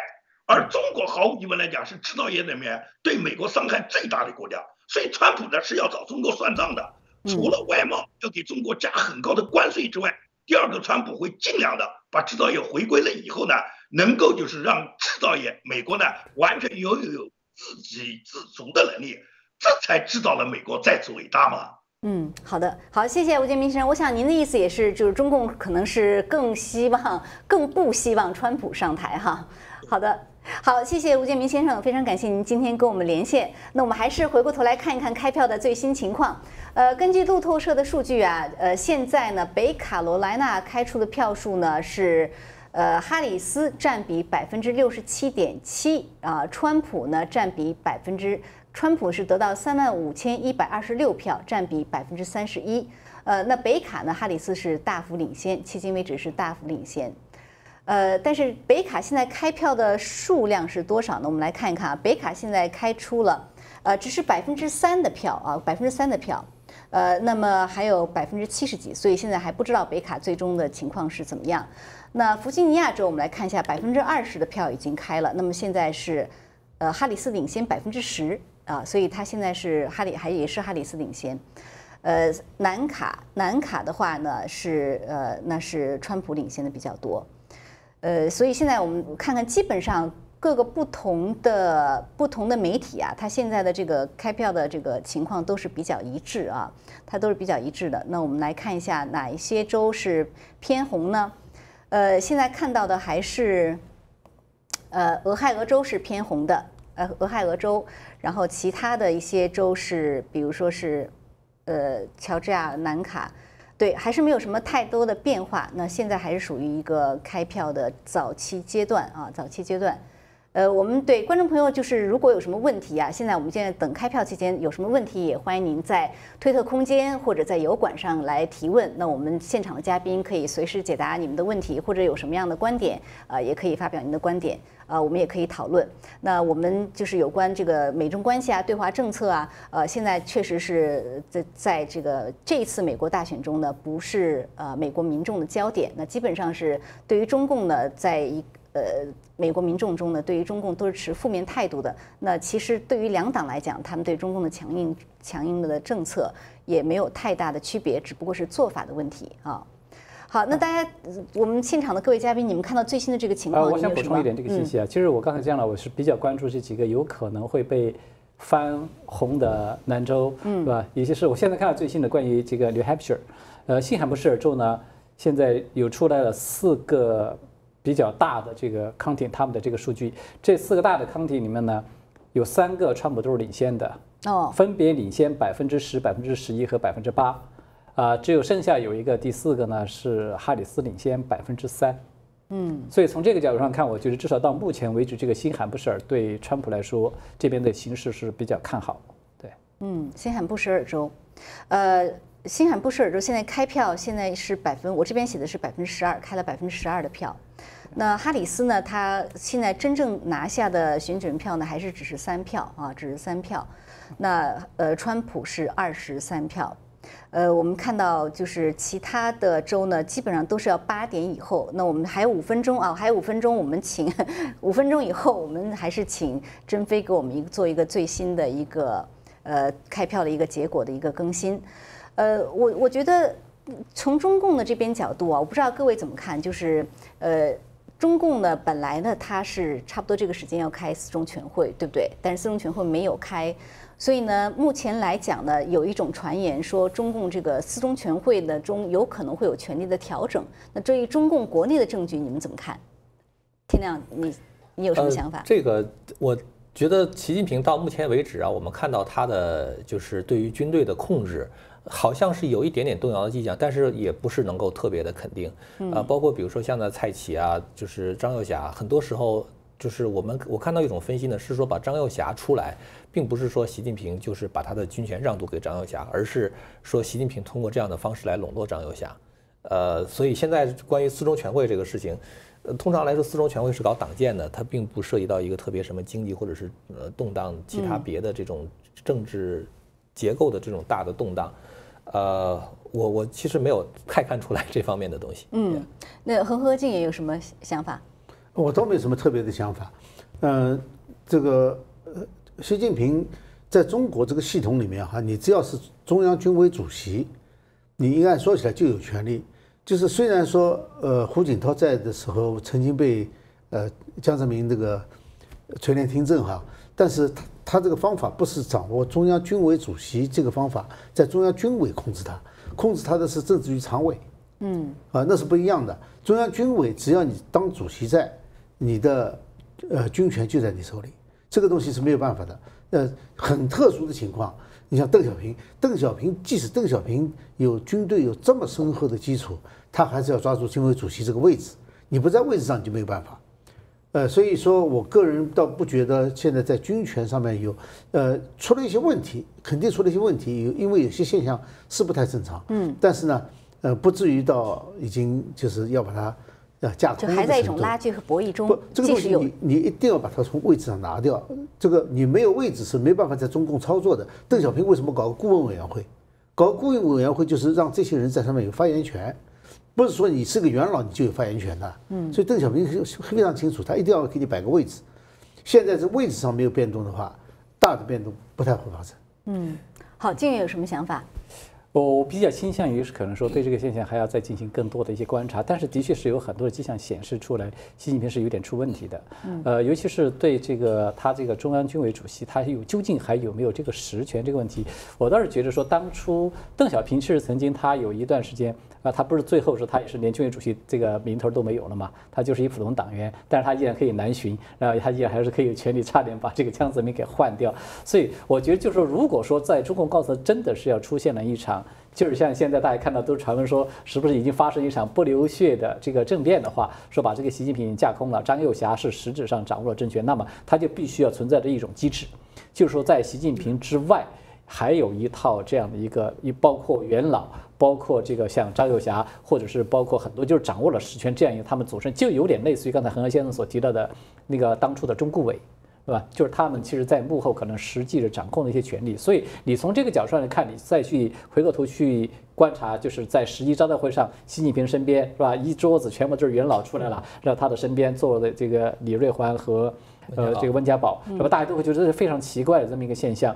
我倒觉得说这些迹象显示出来，感觉还是有一点儿，反正是有一些迹象的，就说他可能是比如说由元老和这些掌握实权一些军人他们组成一个集团。但现在他们的确是缺一个东西啥呢？就是如果说呃把这个习近平要是现在就宣布说拿下去，他们现在可能没有办法达成一个共识，推出一个谁的新人来接替。那如果真的是这样的话，那么它就存在着一个可能需要一个过渡的时期。所以在这个期间呢，当然也有可能就存在像恒河先生所刚才提到的，呃，那习近平他可能只是受到了某些方面的限制，不一定说是完全被剥夺了军权。那双方可能还会有一些一些博弈的这种因素的存在。所以我觉得还需要再进行更多的观察吧。对。从历史上来看，其实我觉得，如果要搞政变的话，速度一定要快，不能是说 你都已经造反了，然后的话，你还让他坐在那个地方，就是说，唯名与器不可以假人呐。就是你让他坐在那个位置上的话，他就有了那个名头，他有这个名头的话，他就有那种相应的权利。所以就是说，如果真的搞政变的话，像刚才金元讲到说这个候选接班人没有选出来之类，其实肯定是先把接班人都选好了，然后的话才能够搞政变。就像当年中怀仁堂。抓四人帮一样，早就定了，就是华国锋来来做这个工作嘛。嗯，那你们觉得美国大选结果对于这个中共内部的这个裂变会有什么样的影响？经济，我觉得肯定会从经济传导到政治。如果川普上台的话，大量的加关税会使得中国的经济出口变得更加的糟糕，然后会使中国更多的人失业。呃，前两天咱们提到那个摩根斯坦利，它有一个叫做社会动态指数，实际上我觉得应该叫做社会动荡指数。现在呢，就是从过去十年的数据，它有一个模型，建了模之后，把过去十年的数据输进去，发现有两次是。沉到底的时候会发生一些重大的这个政治上的动作，一个是二零一五年当时股灾，习近平后来不是把公安部的人派到那个证监会里面去了吗？然后还有一次就是白纸革命之前，现在这个数据又到这个位置了，就是说意思就是说中国实际上社会动荡已经到了一个边缘，但是习近平他自己能不能够感受得到？习近平是不是一定要等到很多人上街，他才能够像当年白纸革命爆发之后突然之间来一个转弯？这个我觉得是一个值得观察的点。如果川普上台的话，对于中国的经济的。对于这种中国的这种经济出口打击会很大，我觉得这个是很多，这个我觉得是中共相当害怕的一件事。经济传导到政治，呃，牧羊有什么想想说的？我先补充两个最新的消息哈，这个，呃，川普已经赢下了田纳西，呃，马里，呃，这个这个佛罗里达，还有一个阿拉巴马州。这是在哪？这是在哪？对对对，在这个 CNN 是现在已经川普已经拿到三十八张。呃，卡马拉是十三张，哎，这样我们现在啊，先请珍飞给我们来做一下最新的更新，然后我们再来分析这样一个结果。呃，好，我们请珍飞来开票。好，果然是。谢谢主持人。来，我们可以看到，确实是在总统选举方面呢，川普已经赢下了八十张选举人票了，卡马拉是六张啊。没错，呃，这个阿拉巴马州和 Tennessee 以及 Florida 已经基本上确定红了，川普拿下来了。马里兰州刚刚泛蓝，基本上呃。卡马拉哈里斯就在我们说话的当下赢得了马里兰州，这个 Oklahoma 啊也是泛红了。那现在朋友们看到的这些打点的这些区域呢，是正在计票当中，非常快啊！这个票数，因为现在八点钟呢是一个关键的时间点节点，很多的呃这这个州在八点钟都已经关闭这个投票了。那很快呢，所有的这个选举第一批选举结果我们就可以看出来。那现在，嗯，佛罗里达他借了七百分之七十七的这个选票，但是基本上是共和党的这个领先幅度非常大，已经基本可以确定。好，那么呃，现在是这样子的这样一个情况，基本上没有太大的悬念，红州还是依然红州啊，兰州呢，对，呃，也还在进展当中，还没有太多的惊喜，我们可以继续关注。来看一下 Senate，Senate 方面呢？呃，共和党已经拿下了一个席位，民主党也是啊，民主党失去了一个一个席位。是 West Virginia 吗？West Virginia 对，West Virginia 非常值得一提的是，共和党基本上赢下了这个 Governor，川普包括总统以及 Senator 全部都是共和党的 West Virginia。嗯，还有 Indiana，Indiana 也是呃共和党的这个呃国会议员八第八选区的国会议员呢是就共和党替换了共和党，并且共和党赢下了 Governor 州长的这个位置。那在 House 方面呢，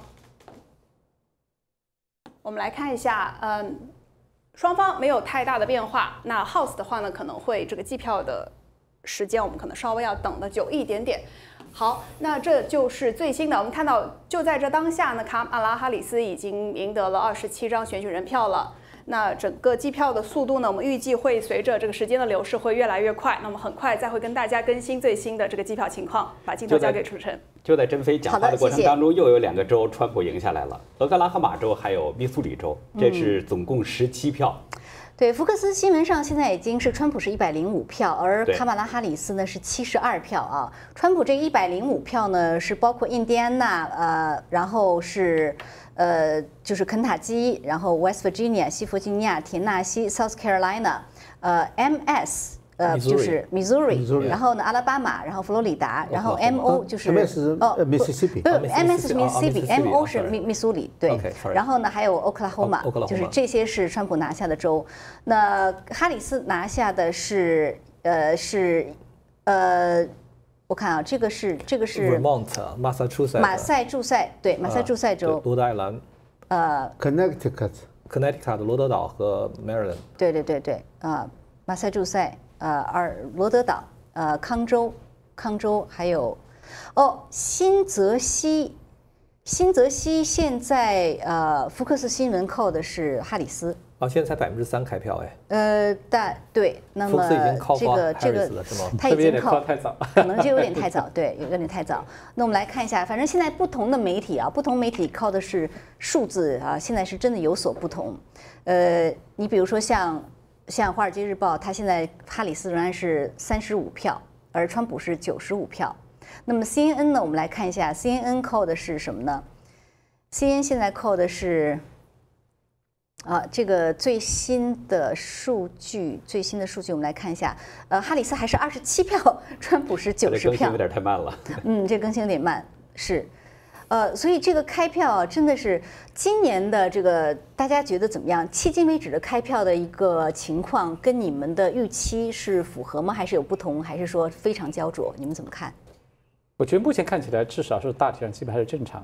就是基本大家认为传统的红州赢下红州，南州赢下南州，就是没有出现意外。嗯，呃，最关键的呢，我觉得现在就是因为此前如果按照呃多家出版的这个就是大选的地图啊，其实都是说就是按照传统的红南州，大家各自保住自己的基本盘，那么最后决胜其实就是这七大摇摆州。这七大摇摆州呢，目前看起来，呃，我觉得对于川普来说相对来说是比较有利，因为我看到最新的消息是 CNN 这边报的，CNN 自己报的是说哈里斯团队现在对。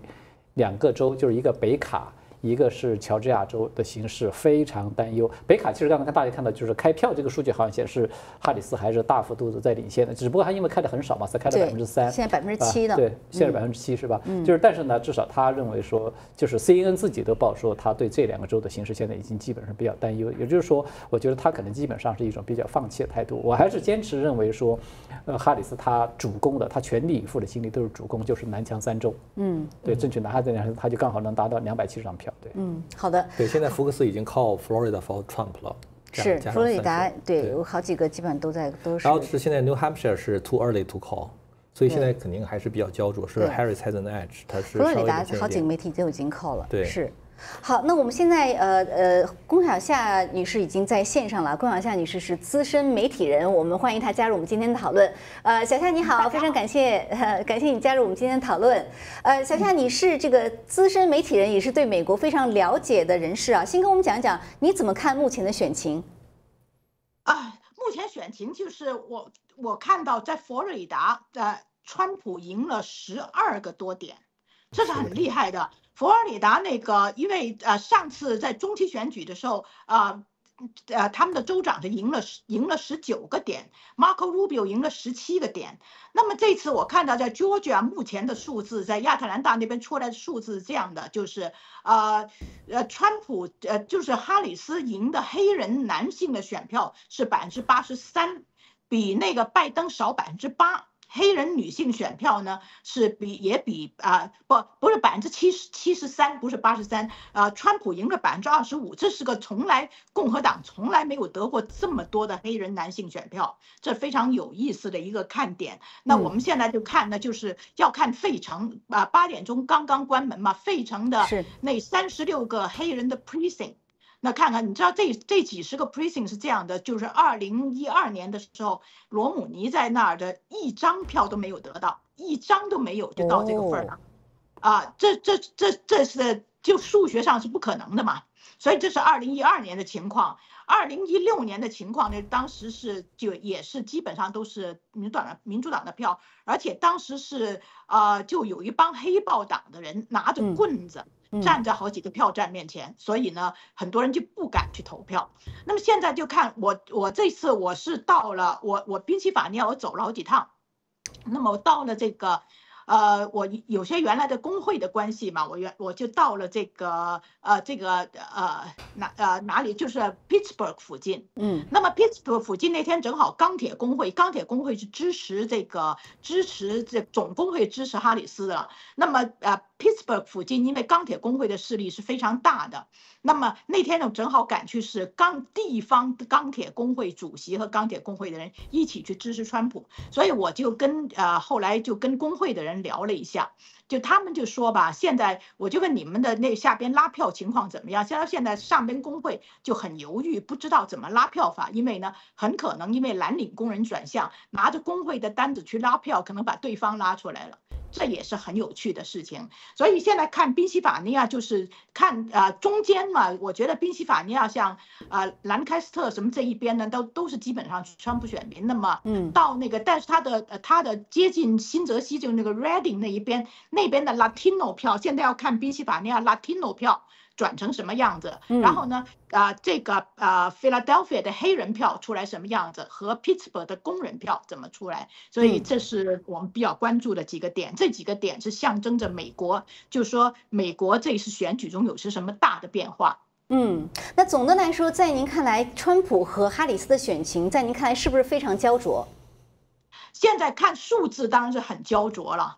那么大家就就是因为二零一六和二零二零年被吓怕了，没有人敢去预期，敢去预测，不到最后一分钟 不知道谁赢。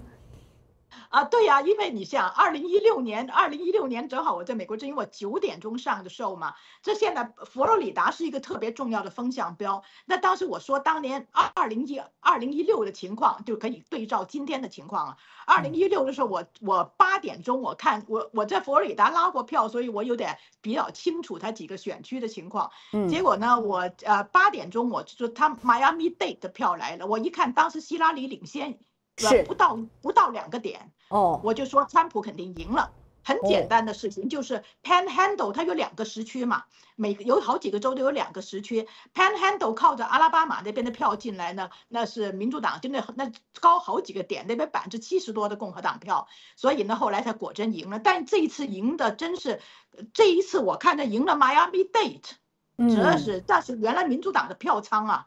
嗯，Miami Date 这么盈利是非常有意思的，所以我是一直在盯着数字看呢。所以北卡，对你说，你说，对我就是很快的插一句，因为我今天早些时候，我刚才还在跟他们说，我看有一个人他在网上 post 的视频，就是说他在 Tampa 附近嘛，他在 Tampa 附近在那个投票的时候，他边上有四位就是城市的白人女性，年轻女性，本来这应该是哈里斯的铁票，但是他们全部都投川普，所以他就说他简直非常吃惊哈，在 Tampa 这样的大城市，但是现在从佛罗里达州的开票结果来看，那可能是超出预期。但是乔治亚州现在川普也是领先很多。您觉得乔治亚州的，您您有什么预测吗？啊。我没有去看它具体的哪个县来了，因为这是关键的，关键是亚特兰大的票。如果是乔治亚，就是整个乔治亚的这个全部，就是如果不算亚特兰大，那是都是共和党的区嘛。亚特兰大的票，所以刚刚我就看他细看他的票，他黑人票，那主要是乔治亚带个三分之一是黑人人口。那么如果是黑人的，就他都是上次就是二零几二零二零年是川普是一万四千票输的嘛。那么一万四千票，如果百分之二十五的啊，黑人男性就是相对过去的百分之九十一，那么现在百分之二十五的黑，百分之九十一投民主党，原来是啊百分之九十一是女性和男性，我不记得了，反正男如果黑人男性百分之二十五转了共和党的话呢，那么这个中间的票就绝对不止这这个一万一一万四千票，那是六位数的票。但是问题是这一回就是郊区妇女转成什么样子呢？我们目前不知道。因为呃，目前就是最不能肯定的，这个摇摆度最大的是受过教育的郊区妇女，因为堕胎问题。嗯，是是是，呃，那您怎么看这个蓝墙三州：宾州、密西根和威斯康星？您现在有什么样的预测吗？啊，这样，因为我有一个朋友在啊，在 Michigan 在呃选参议员嘛，所以我还是 就是啊，这这个 Mike Waters 原来众议院的，所以我就我就比较关注他身边发生的这个事情。我觉得 Michigan 这样的 Michigan 呢，就是 Michigan 的汽车工会的 local 工人，汽车工会主席自己说的，我的工人都投川普去了，所以 Michigan 的 Dearborn Dearborn 那边有有那个二十四万阿拉伯裔。这二十四万阿拉伯裔的中间，大概最少有十五万选票。这十五万选票去，因为呃，二零二零一六年川普在 Michigan 是两万票赢的，二零二零年他应该是三万多四万票输的。那么如果这这个阿拉伯裔的选票呢，这如果说十五万选票，咱们就就总大概这么说，这十五万选票前一段就是有阿拉呃穆斯林的伊莽出来挺。啊，挺川普，我觉得很有意思的，就是他们原来都都说是要挺，他传传统上都挺民主党的嘛。那么这一次民主党有几件事得罪了阿拉伯裔，得罪的一个是就是这个就中东中东这个问题，民主党左右都不是了。那么川普去就说我能给你们带来和平，就是很简单。还有一件事情呢，可能大家都是忽略的人挺多，就是变性这个问题，就性别问题。因为阿拉伯裔和其他移民的族裔都是相对保守，阿拉伯裔比别人更保守。嗯，所以在这个中间呢，他们的选票怎么走呢？这会决定 Michigan 怎么走。嗯，好的，谢谢啊，小夏这个如数家珍啊，这个对过去的历年的这种选举情况，对在在座各位怎么看？就是阿拉伯裔啊，包括拉丁裔啊，包括现现在小夏刚才说的这个，呃，就是。Rural area 的乡村乡村地方的人出来投票的那个情况，你们怎么看？我觉得首先这个就是对这个哈呃就是呃阿拉伯裔对吧？阿拉伯裔人士他们其实最关心的就是因为中东的这个战局，嗯，也所以你可以看到就是现在在密西根和威斯康星这两个州的就是阿拉伯裔社区的这个领袖都有出来就是给川普呃他背书，他们其实最主要的理由。就是说，希望他们认为，至少这个中东战争打这么多年，一直就始终没停过。在这个拜登这四年任期之内，他们可能认为说，在如果延续民主党现在这种政策下去，他们觉得没有什么指望，说可以能够带来和平。所以他们就是现在转过来，就是把这个希望寄托于川普，因为川普在任那四年的时候，的确中东这个地区是就是比较就是和平的这么一种状态。那么至于说这个就是拉丁裔，拉丁裔的选民大家都知道，因为这次川普在纽约这个集会，因为那个喜剧演员去开了这么一个玩笑，是吧？以后带了一些很大这个负面影响。但是其实我个人觉得这种负面影响它是比较有限的，因为我今天我就去这个做了一个这个研，做了我还真做了一份研究，我发现呢，就拉丁裔他们社区的这些居民，尤其是在宾州的，嗯，宾州拉丁裔社区的，他们其实真正最关心的。他们是经济问题，还是经济问题？对他们最关心是经济问题。嗯，其中我觉得有一个就是，我记得是就拉丁这个在宾州的一个一个城市叫做雷丁，是吧？那个市长他其实就本身就是拉丁，他是雷丁历史上的首个拉丁裔的，呃，就是一个市长。啊，然后他就直接是对这个川普这边，他就表示说，他对川普是比较看好，因为川普在经济问方面的这种处理的能力，比他们这边就是在他们就是比较认可。他就举了一个例子，他说我们这边好多就是那种开，比如就是开那种货车的，是吧？以前多少是说一周就可以赚赚多少几千块钱，然后现在是要一个月才能够赚到这么多钱，所以他们是非常真切的感受到就是这种经济的下滑，就是通货膨胀以及其他各方面给他们带来的这种就是一些这种。损失之后，所以他们现在就是决定要呃改弦更张。所以在这个，但是我们看到现在哈里斯有一个问题，就是他现在真正主打的牌，他打的最多的牌就是关于堕胎这些问题。是堕胎这些话题，其实对拉丁裔的选民他们是一点都不 care。所以他们其实最 care 就是关于经济问题。所以我觉得从这个角度讲，可能呃对这个川普的在少数族裔里面的他其实还有他的优势吧。嗯，是对。刚才小夏说这个二零一六年啊，我听呃前两天听呃梅根凯利和 Steve Bannon 他们当时回忆二零一六年说，说他们五点五点钟已经开始知道很多地方的出口民调了，都是希拉里领先，所以基本上当时那个状态就基本上是感觉九点钟希拉里就可以宣布他胜选，所以川普团队说我们难道差的这么多吗？他们说是这这这个他们就跟川普打电话说这个情况是这样，川普说。不管，反正我们就是我们已经这个已经尽了我们的力了，我们来看到底最最终怎么样。所以这个选情啊，真的是瞬息万变，可以说是真的是瞬息万变。这里这里我插一句，我说点内幕好不好？哎哎，好的好的好，小夏请讲。当时当时因为是这个民调出口民调不准，是因为选选民出来撒谎，但是呢，就川普那边都信川，选民不愿意说他们投了川普嘛。所以呢，我我当时就问 Steve Bannon，我就说这个我我又我我采访过他，问他很多细节。当时怎么回事儿？他说当时啊，他那个晚上，他就觉得他们都觉得要输。嗯，所以他连西装都没有带到纽约去，在 Hilton 旅馆嘛。当时呃，希拉里是租的那个那个 Javis Center 那个可以很大，他是专门租了有个有个玻璃屋顶的 Shattered Shattered Glass。然后呢，川普就觉得反正赢不了，就说这么累的半死，早点上床睡觉，所以九点钟 说要歇会儿。结果呢，那个 Steve Bannon 呢，当时是谁和谁呀？我一下哎呀忘了，这是是和和 Jason Miller 还是谁？反正是两个人呢，就就穿着便装在在纽。纽约的大街上逛马路，说反正赢不了。结果逛到突然看到时代广场啊，大屏幕一下出来说川普要可能赢了这个，赢了那个，赢佛里安。他说不行了，不好了，赶紧往回跑，赶快往回跑。往回跑，跑到旅馆就把把川普叫起来。结果呢，当年那年很有意思，希拉里那边呢是没有写败选演说。嗯，川普这边没有选胜选演说，那马上抓起来说不行啊！所以希拉里是半夜两点钟叫人去选写败选败选演说，他第二天十一点才才去做的嘛。那么川普呢，从这真是从床上揪起来的，说你要赢啊，对吧？有这等事儿，就就他自己他自己后来说的，这这个我是绝对是第一手在场的人跟我说的，这个资料应该没错。然后呢，那个然后就开始，当时我有记者在场嘛，就是当。什么地步呢？我是就是希拉里那个比呃会场比川普的大好几倍，我们去派去呃希拉里记那个地方的记者进不了场，没信号了，到了这个地步，川普呢随便进，大家走走进进出出的，到九点多十点的时候说不对了，要赢了，才陆续把人进来，一直到十一点钟宣布赢了 Wisconsin，那时候大家才知道要赢，所以那那时候人才进来，这真的很有意思，那个过程简直是我当我们当时说好那个你上。去九点上去，你十十一点就下来了，是不是？这个到下边下边那个 producer 就说继续继续，一直继续到晚上一点一点四十分，AP 说川普赢了，Pennsylvania 赢了。那么我就是在中文世界里，我第一个说，我说我宣布就川普赢了。那赶紧下来，大家我们台上五个人全得上厕所。天哪！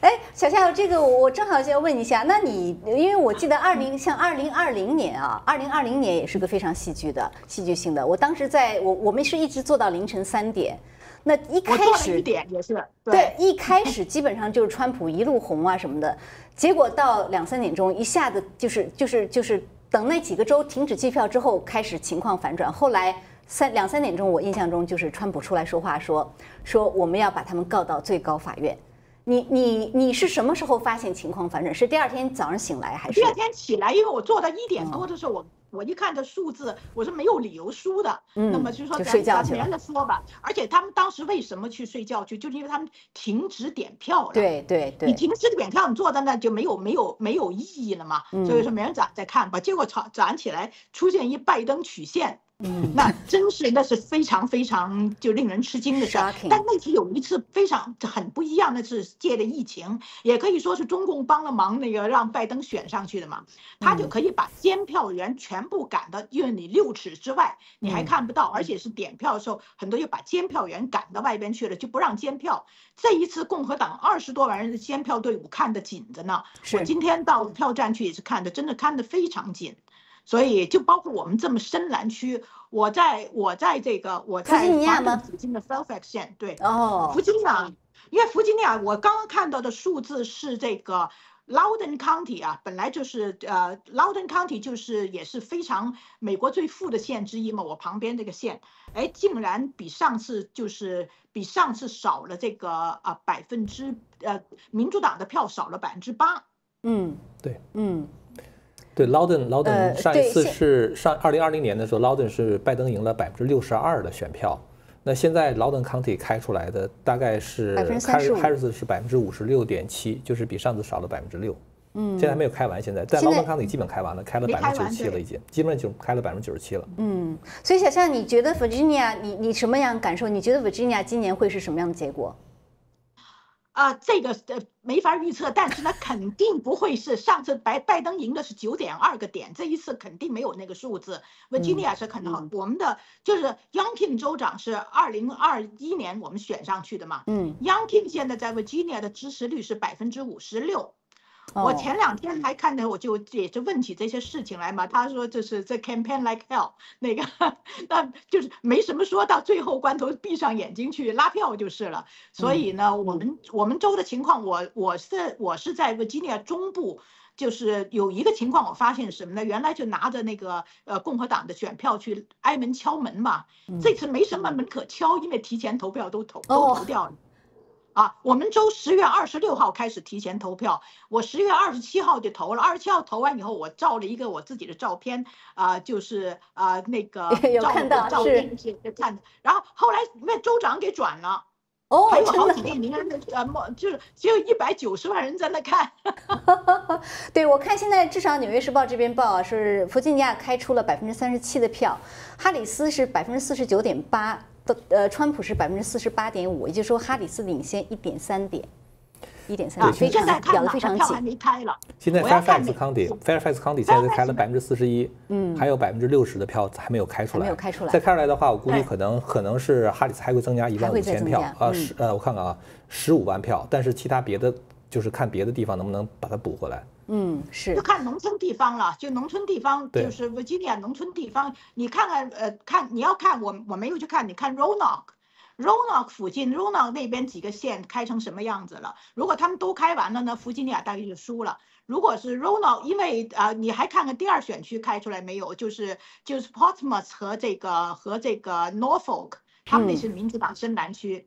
现在现在像 Richmond 的话，它是基本上来说百分之三十六点四的票开出来，但是 Harris 跟川普是不相上下的，在 Richmond。哦，Richmond 啊，对哎，那个很重要。Richmond 百分之六十的人口是黑人，他有六十六十万出头的人。那么过去呢，民主党的在 Richmond 这个市的赢率一般是百分之六十到六十五。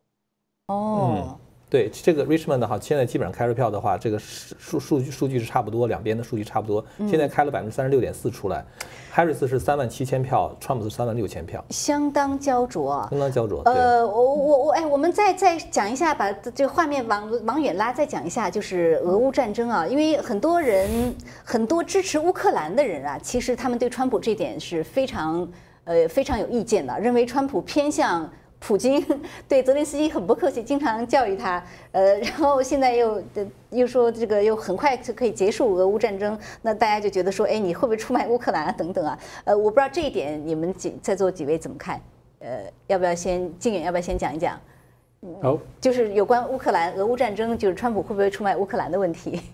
我觉得其实这个应当是存在着某种这个就是很大的一种误解。嗯我觉得川普他其实在，尤其是他上次和这个泽连斯基曾经发生过一次这种冲突，是吧？那个他背后呢是是有一个语境，就是泽连斯基因为先质疑了他，啊、说我你你你你你怎么能够在二十四小时之内就能够搞定这个事情，是吧？你都没有到来到这个战场，你可能都不了解一些这样的一个。我觉得川普这个人他是一个比较强势，他会觉得你公开这么质疑我，你甚至就有可能会都影响到我的大选了，所以我必须要给予一个强硬的回击。所以他也就是对这个泽连斯基有这么一个比较强硬回击，说他甚至认为说，呃，提了这么一句话，说这个泽连斯基。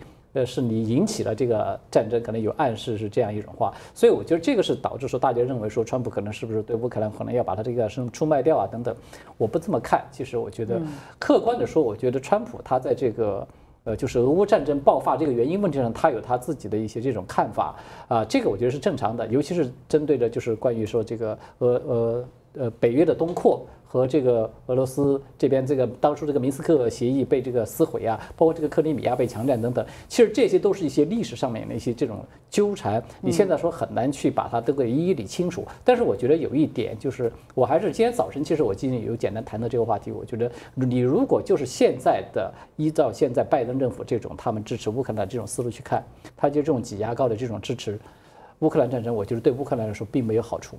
嗯，乌克兰其实，在这样一种就延续当前这种模式之下，再这么继续耗下去，乌克兰将来的结果可能会更糟糕。因为其实乌克兰和俄罗斯相比，大家都知道现在打成一场消耗战嘛，在这种消耗战的背景之下，你要再长期持续下去，我就是对乌克兰来说，它是耗不够俄罗斯的。不管怎么说，俄罗斯它的就是。对这个幅员辽阔嘛，他的人数啊，他在很多方面他依然是占优势，所以你跟他打打消耗战其实是打不起的。所以我觉得，在我看来，在这个俄乌战争这个问题上，美国的立场其实你要么你就一次性的援助的时候，你就把它援助到位，三下五除二就把这个。呃，就是在战场上你掌握一个绝对的这个主导权，那么要么就赶快能够推出一个说双方基本都可以能够接受的一个先停火，嗯，先达成一个停火，有一些领土的这种主权的纷争，我觉得可能它在短期之内，至少我个人看法，客观的说，你要想指望说在现在有这种情况之下，把所有领土的主权纠纷我们都弄得一清二楚。不太现实，不太可能，不太现实，所以可能有些领土主权的纠纷，可能要在放在以后再来解决。对，嗯，好的，呃，这方面有什么大家有什么不同看法？我想先说一下，现在 Virginia 现在翻红，就是现在是现在是川普的票临时领先哈，还不能现在说是结果，但是川普的票现在临时领先。嗯，这是一个南卡现在已经被川普拿下了。对对对，现在这是一个不错的南卡早早就拿下了哦。南卡南卡是南卡南卡应应该呃不出什么问题。不过乌克兰这事儿我可想讲一句，请请讲，嗯。伪命题就说是偏俄罗斯还是偏那个偏那个还是偏这个乌克兰？干脆伪命题，那是偏那是偏战争还是偏和平？偏死人还是偏救命？嗯，这是两个问题。川普也没有说偏谁不偏谁，只是说这赶紧先停啊！我就说这俩人打架，就说一个大个子一个小个子，你这个。你你这个你是警察，美国说世界警察，你警察没说哦，你个子大打小个子，我过去跟你打一份一块打，是不是？你肯定先过去，你是大个子，你就拉警察，你拉出来甭打了，那这再说，之后你再说嘛。你没有说帮着过去打一拳的，这是这算什么事儿啊？这是，这对美对美国损害大极了。现在就是战争与和平的问题，那个那他们下去会。啊，你说那那您觉得为什么川普就说他可以很快停止俄乌战争呢？您觉得他这有可可能吗？如果这场是没有人要的战争，只现目前呢到这个状态，只有美国的军火商要这场战争。为什么民主党他们要这场战争？就是这个美国大工业集团他们要这场战争，俄俄罗斯也不想要，乌克兰也不想要。你知道谁会想要？中国会想要，打下去对中国有好处。嗯，这其实川普好像这两天有说，他好像说他上任以后他要把中俄拆开，有说这个话吧？我我印象中，小夏你有没有呃？对，他说了，他说那个上去就是说，就他能够把中国俄国之间的联盟拆开，因为他会先跟普京谈这个事情，他而且呢，就是说他会用大量生产石油天然气这这种方式呢，把俄国的这个这种这种对欧洲这个。这个种能源的这这个很大的主导地位，对呀，给那主要所以普京普京就必须跟他谈判。这个问题啊，中中俄之间反正就是也是呃，川普班子有人就问起我这个事情来，我说中俄之间吧，从来都交不上朋友的，你们是他现在交朋友是你们把他压在一块儿的，嗯，那简直是呃没没常识啊，这卡马拉这些呢，乌克兰在哪都说不清楚的，真是没常识到这个地步。嗯，对，其实我觉得我可能跟这点跟小夏想法不见得一样哈，因为我觉得是战争跟和平固然是非常重要的，就是比如说和平是一个很好的价值，但是我觉得自由和。就是就是公平，我觉得更是一个更加重要的价值。就是说，我们不能说二战的时候希特勒打就是在欺负，呃，比如说占领了波兰，占领了这个东欧的地方的时候，我们说我们现在先把战争停下来。然后的话，然后呢，就是说，我觉得一个人做了错事的话，必须得有后果。嗯，如果你最后不打到柏林去，不彻底解决纳粹政权的问题，那他现在是是不打了。你是很强硬，我是怕你。OK，好，我不打了。过两天等你川普不在的时候，我再接着打。所以我觉得就是说，所有这些发动侵略战争的这些这一方，一定要有 consequence，一定要让他知道，他发动侵略战争的话，对他本人来说的话是有后果的。那你的意思就是说，应该就是一个劲儿的，就是支援乌克兰，一定要他把这个战争打赢为止。我我觉得这个事情，我觉得其实不是川普一个人能够决定的，也不是说我能，就是我的意见其实并不是那么，我我也没有什么影响力。关键的问题说在于说，我并不觉得川普会抛弃乌克兰的原因是，美国它是一个三权分立的国家，美国的整个两院全都是偏向于支持乌克兰的。即使川普想做一个不支持乌克兰的动作，如果国会通过立法，川普也不得不去支持乌克兰。所以我觉得这个不是，我觉得这个不是问题。现在当然，如果川普现在能够让普京停下来。但是，然后呢？然后的话，如果如果没有后果的话，那普京等川普下来之后，会不会再接着做？我觉得是这样的一个问题。普京如果不承担后果，这个战争将来还会接着往下打，哪怕是停了四年。嗯，你们那谁在看那个那个那个呃各州的数据的？我们看一下北卡现在两边持平，你看看那个 Riley 和这个 Chapel Hill。和这个 Charlotte 的，如果他们的票都进来了的话呢，那个现在点了百分之五十。如果这三个地区都进来，川普就应该赢了。呃，好，我们其实现在正好是已经八点半了，我们还是请我们的开票呃开票的这个主持人甄飞来给我们开一下票，来看有没有什么最新的进展。然后呃，包括刚才小夏提的这几个 county，呃，那甄飞请呃来给我们讲一讲最新的有什么开票的情况。好的，谢谢主持人，观众朋友好，那我们来看一下最新的开票进展。目前呢，这个系统啊显示的是 Trump 还是九十九张选举人票，康拉是二十七张。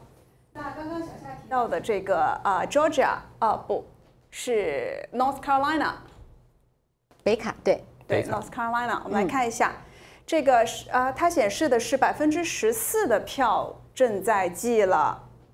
那 Charlotte 的话呢，这个是计了百分之六的票。那哈里斯是领先川普。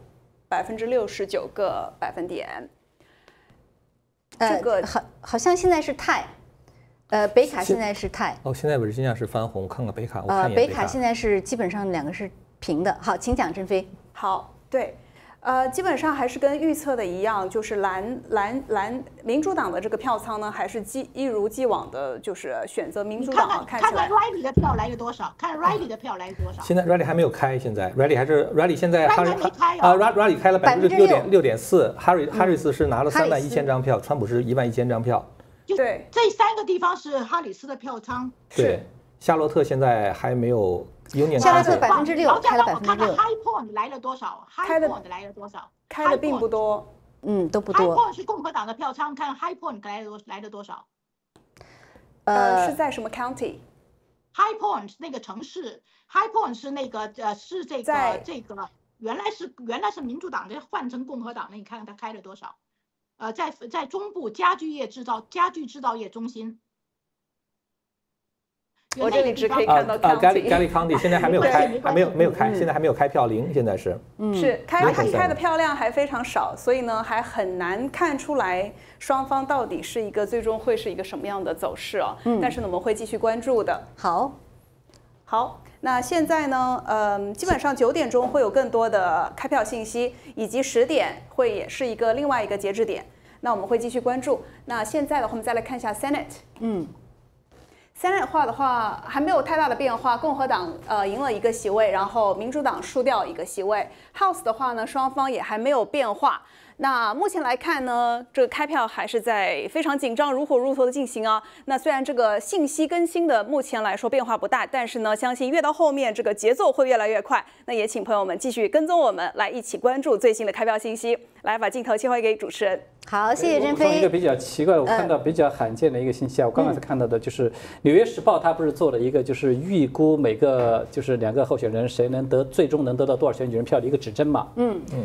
刚才开呃，我看到就是第一次《纽约时报》它显示说，川普是将以二百七十五比二百六十三赢得大选。这个是我看到《纽约时报》第一次显示川普领先，就是它那个指针的这个指针是二百七十六比二百六十二。你现在看一下 Virginia 哈，Loudoun County 在二零二零年的时候，呃，拜登是拿了百分之六十二的票，川普是百分之三十七。我们看一下，大概是赢了百分之二十五。现在在 Virginia 的这个 Loudoun County 已经基本上全部开完了，开了之后呢？呃，哈里斯拿的是百分之五十六点七，川普拿了百分之四十点四，就赢了百分之十六，就是哎，现如如果这样的，Virginia 翻红是有可能的。对，我觉得 Loudon 和 Fairfax 如果看票进来怎么样？对，如果 Loudon 和 Fairfax 他拿不到百分之六十的票嘛，那么我还有还有是那个 Norfolk。嗯，如果这几个票，这几个地方他们拿不到百分之六十的票，那基本上就是差不多了。我觉得。弗吉尼亚的话，《纽约时报》他现在说川普是领先百分之零点三。对，但是现在现在很多地方没开完。非常焦灼。现在关键是 Fairfax，现在 Fairfax 现在是开了百分之四十七点三，呃呃，Harris 是拿到了百分之六十七点七。对。呃，上上一次拜登是差百分之七十几，上次。阿灵顿呢？阿灵顿呢？呃，没有没有看到 Arlington，他没有 Arlington，他是那个 Arlington 是属于这个 Fairfax County 的吗？还是属于？应该是 Arlington 是自己独立的。呃，没有，哎，在这个选区上没有看到哎，因为它是应该靠近 DC 的嘛。第八选区就是如果国会选区第八，就说你呃，我就三个选区是决定性的，第八选区、第呃第八选区、第十一选区和第十选区这三个选区。那么我看到 House 我们赢了一个一个选区了，对对，就是多赢了一个。嗯，Senate 那是肯定，Jim Justice 一定赢了，West Virginia 那是板上钉钉的。呃，对，Ohio 有可能赢 Senate，然后啊，Minnesota，呃，是是是是不是 Minnesota？Montana 那个 John Tester 有可能会。就蒙塔纳有可能 John Tester 大哥就差不多是 done 了，但是那个 Bernie Marino 现在就 Ohio 的 Bernie Marino 现在落后还还落后好几个点，因为 Sharon Brown 吧还是挺厉害的，我要说句实话。对对，Sharon Brown 是。他跟工会关系非常好，我当初也跟他打过一些交道，就很多年以前的事儿了。对，现在呃，我们看一下各个不同的开票的来源啊。呃，现在呢，《华尔街日报》哎，《华尔街日报》老是很领先啊。《华尔街日报》呢，它现在是说，呃呃，哈里斯拿到七十一张票啊，七十一张票。然后呃，川普是拿到一百零一张。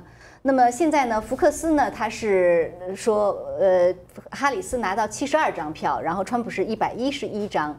NBC 还是说哈里斯拿到三十张票。呃，川普拿的是一百零五张票，《纽约时报》呢说哈里斯拿到五十二张票，然后呃，川普拿的是一百零一。CBS 是说哈里斯二十七张票，川普是一百零五张票。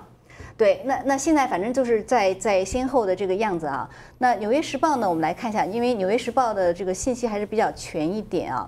那它现在呢是说呢。呃，弗吉尼亚对川普领先零点四个点，呃，北卡 North Carolina 川普领先六个点，宾州哈里斯，呃，宾州现在开票的是百分之十一，哈里斯领先呃百四四十二个点。宾州太早了。对，宾州宾州是这样，然后啊，就关键如果是 Philadelphia 的票开出来，那百分之九十都有可能，所以呢，咱不能看。嗯嗯，对，是。呃，那现在呢，基本上，呃，乔治亚州呢，现在是呃，川普是领先比较大，川普领先是十一个点。那么现在开票开了五百分之五十五，所以乔治亚州大开出来没有？那请讲亚特兰大哈。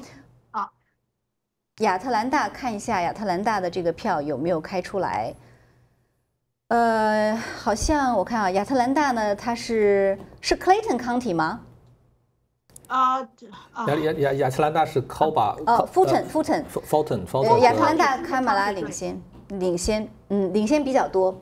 亚特兰大他不是不要领先，看他点票的那个百分比，百分之七十八，这个七十八，Fulton County 百分之七十八，我跟你说那乔治亚肯定赢了。川川普就赢了，因为因为 Fulton County 要是要是都点完之后，川普还在领先的话呢，那就 forget it。对对对。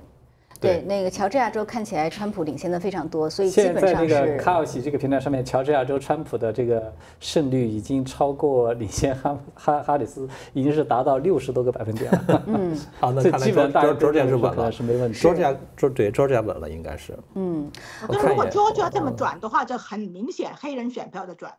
有可能黑人和 Latino 的选票的转，白人选票达不到这个数字。那个 Cobb Cobb 那个 Cobb County 是开了百分之五十六的票 Harris 只领先了呃百百分之十六，然后 Fulton County 是 Harris 是百分之七十一领先川普百分之二十七点七，现在开了百分之七十的票出来。对对对，七十八，嗯。嗯，Fulton 开了百分之七十八的票，百分之七啊，Fulton County 才才才才是七十二，那就没戏了。对，Fulton County 基本上就是亚特兰大的黑人 County。对，四十，他应该领先百分之九十才对。嗯，对对对对，呃，现在弗吉尼亚川普的领先，呃，依然是领先啊，现在已经开了。关键 Fairfax 现在停了，Fairfax 不计票了，现在。哦，为什么？等我不知道，等 Fairfax 计票的时候才能看，因为必须得 Fairfax，呃，Loudon Loudon 已经开完了，呃呃，William Prince William。Fairfax 现在开了百分之五十五，然后对 Fairfax 因为是这样的，有一批那个有一批那些比较比较穷和密集的 county 的票没送到，而且这百分之五十五的票，可能他们有一堆的这个这个邮寄选票邮寄选票票箱里的票还没拆出来，对。哦，OK，对，嗯现在。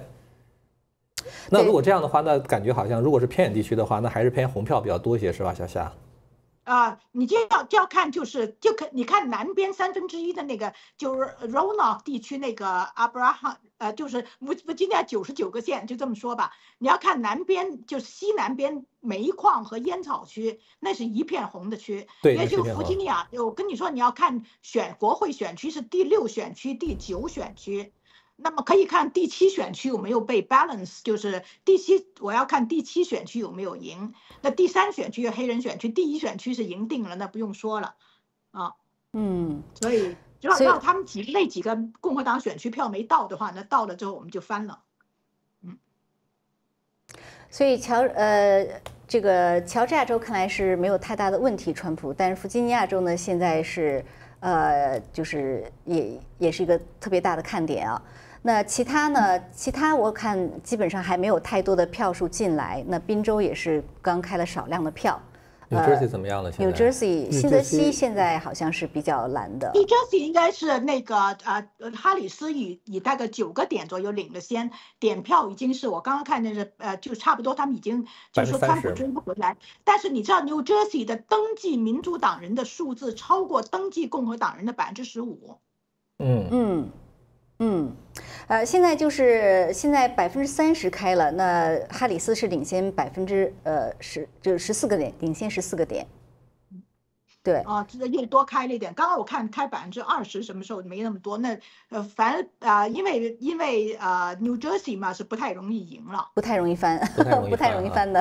New Jersey，但是 New Jersey 是这样的，它有 off year election，就是说，啊，美国有那个 off year election，只有两个州，一个是 New Jersey，一个是 Virginia，这嗯差不多呢，就是你在就州长是明年选嘛，嗯所以呢，不知道他们就是这挺有意思的。你想啊，呃，Chris Christie 作为共和党人在那当了两届州长，对，You never know。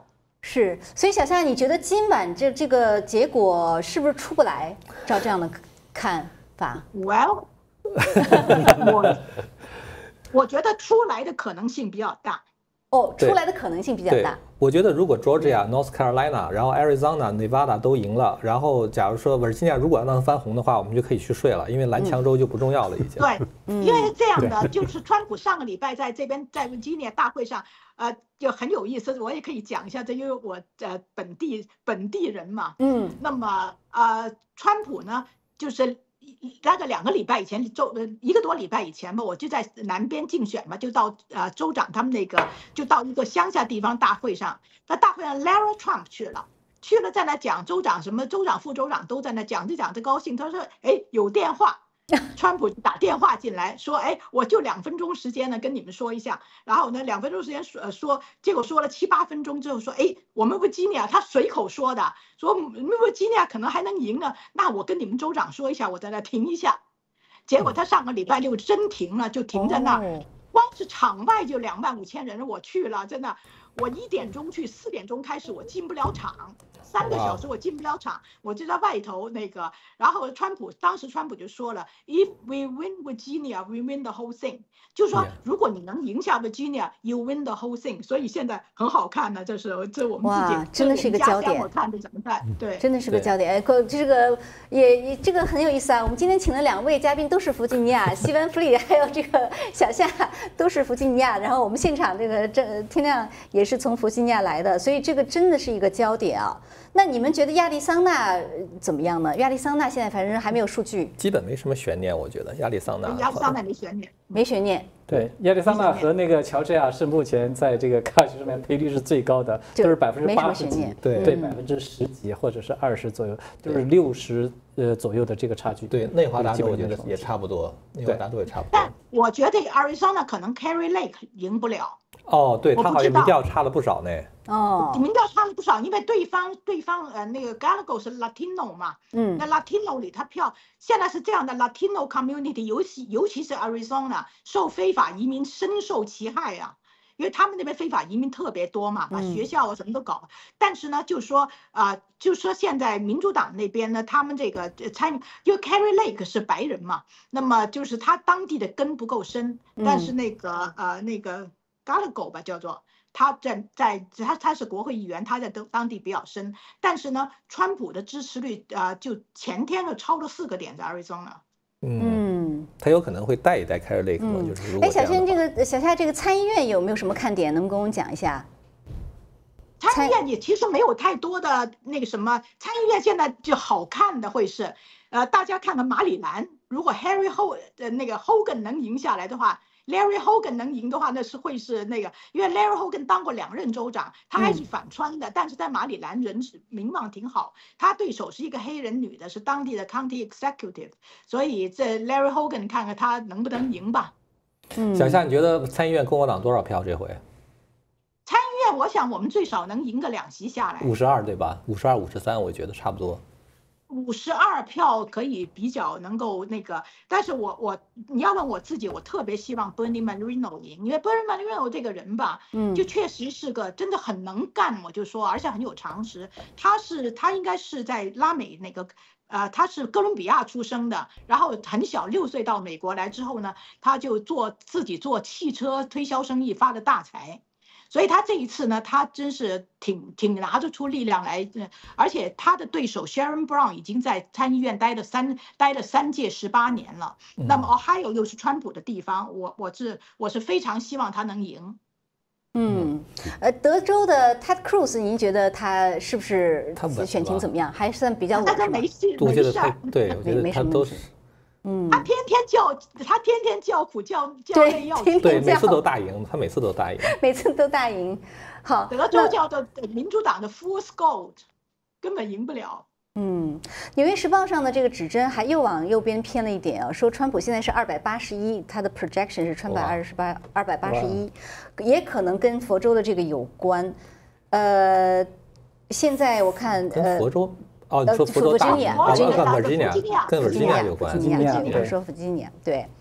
呃，那基本上呢，现在宾州出票是百分之十三啊，密西根出票是百分之八啊，都还属于非常早期，其他的还没有什么更更更多的更新。呃，那么我们看一下，出票百分比不是重要的，哪里出票是重要的。对对对对对对对是，呃，现在现在的我看基基本上各大网站啊，呃，都是现在暂时没有动啊，就就都是对，都是一百一百零一比七十几这样子。呃，好，我们现在可能看一下我们线上观众哦，线上观众哦，呃，哇，我们线上有一位观众给方伟时方伟的频道方伟时间捐款九十九点九九，哇，这么吉利的一个数字啊，美九十九点九九美金。这位是 Carol 黄，Carol 黄，非常感谢 Carol 黄啊，这个方伟不在，我们替他感谢你。还有哦位子杰捐款 哇天呐，子杰也是四十九块九毛九呀，非常感谢啊，陈伟。呃，我还是伟晨是加币，加币二十四块九毛九，感谢啊，大妞五千日元，你们直播辛苦了啊，我们非常感谢各位给大妞啊那给我们的支持。呃，好，这位观众提问说，能说说开票和监票过程是怎样的吗？很担心之前投川普了，但寄票给哈里斯，这种做票行为有办法监督到吗？如果投票机作弊，嗯，实际数据技术给哈里斯。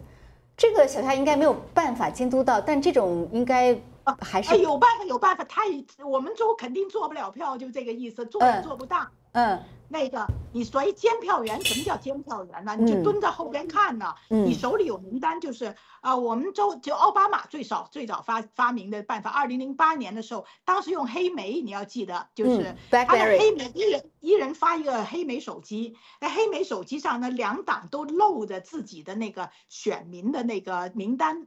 哦，来一个对一个，来一个对一个，来所有选民的名单，来一个对一个，来一个对一个。然后呢，那个现在呢更好更容易了，就是说现在是呃投一个就消一个，投一个消一个，所以呢对现在都都用 iPad 来对了，所以那个每个那个人后边对对票啊，就是有很多很多监票员，在共和党是二十多万人的这些监票队伍嘛。后来那个我我我还申请监票了，因为我以前也监过。后来那个他们就问我你你要做什么？我想半天，我说我可能是还是上网广播拉的人最多，因为我跟袁公仪先生那个广播嘛，我就经常有人说，我带了全家，连我老豆老母，这广东话说那个爸老妈妈一块拉出来，老豆老母一块拉出来投，我说全家我拉了十个人什么之类的，所以呢，我是我是在网上猛拉票也是，但是今天我还到票站去，我在票站面前直播了一个小时。嗯嗯嗯，是，所以就是说，这您的说法就是说，他他一个一个去对，那么，但是但是民主党的选民不一定投民主党，对不对？共和党的选民也不一定投共和党。对，现在只是说对谁来了，谁没来，就是说，如果你来一个人说，我我我那个是选民了，但是我登记的这个。呃，你们把数字搞错了，我还是要投，那么你就把这个人记下来。我们州的法律就这个人投的票你可以投，但是你是 provisional，就是说你这个票是临时票放在一边了。每次投完以后呢，如果差距特别小，这些票就要算；如果差距大了，这票全扔了。好，了解了解。好的，那我们现在也快也快九点了。那我们其实这个板块呢，我们已经呃从呃快不到七点到现在已经基本上两个小时了。这个板块可能也马上要收官了。那我下面一个板块会有不同的嘉宾，但是我们也会持续关注这个开票的情况啊。那我们非常感谢小夏今天跟我们来分享你对这个美国大选的这个最第一手的这样的一个常年的一个丰富的一个观察啊。呃，我们看一看弗吉尼亚州还有呃北卡呃。还有乔治亚州，然后这等一下九点以后呢，看看呃亚利桑那州还有内内华达州能不能开出票来。那我们是会持续关注了。那呃线上的观众请不要走开啊！我们在开心天下这个频道的直播呢是一直不间断的。那么我们现场的几位自媒体人，请大家呃订阅他们的频道。呃，一个是靖远开讲，一个是恒河评论，一个是天亮的职业闲谈，职业闲谈频道。我先说一下我的看点下的自由美利坚十点钟开始播了，我也开始当哦，对的。好的，好的。小夏在油管上的频道哈，自由美利坚也马上十点钟也会他自己就在直播，也请大家关注。我李南央。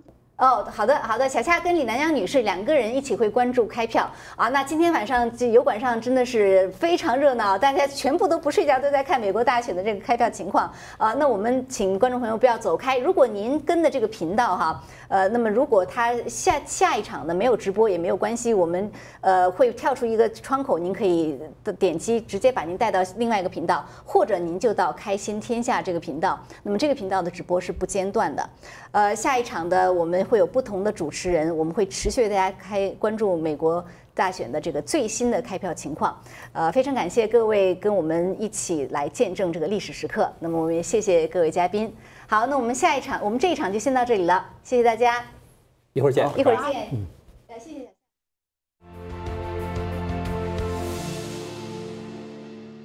高兴的、闹心的、兴奋的、焦虑的，所有观众朋友，大家好！激动、紧张、纠结、拧巴的，开票时间震撼来袭了。选票后浪拍前浪，嚯！不知道到底是谁把谁呃拍倒在白宫沙滩上。这事儿好解决啊，就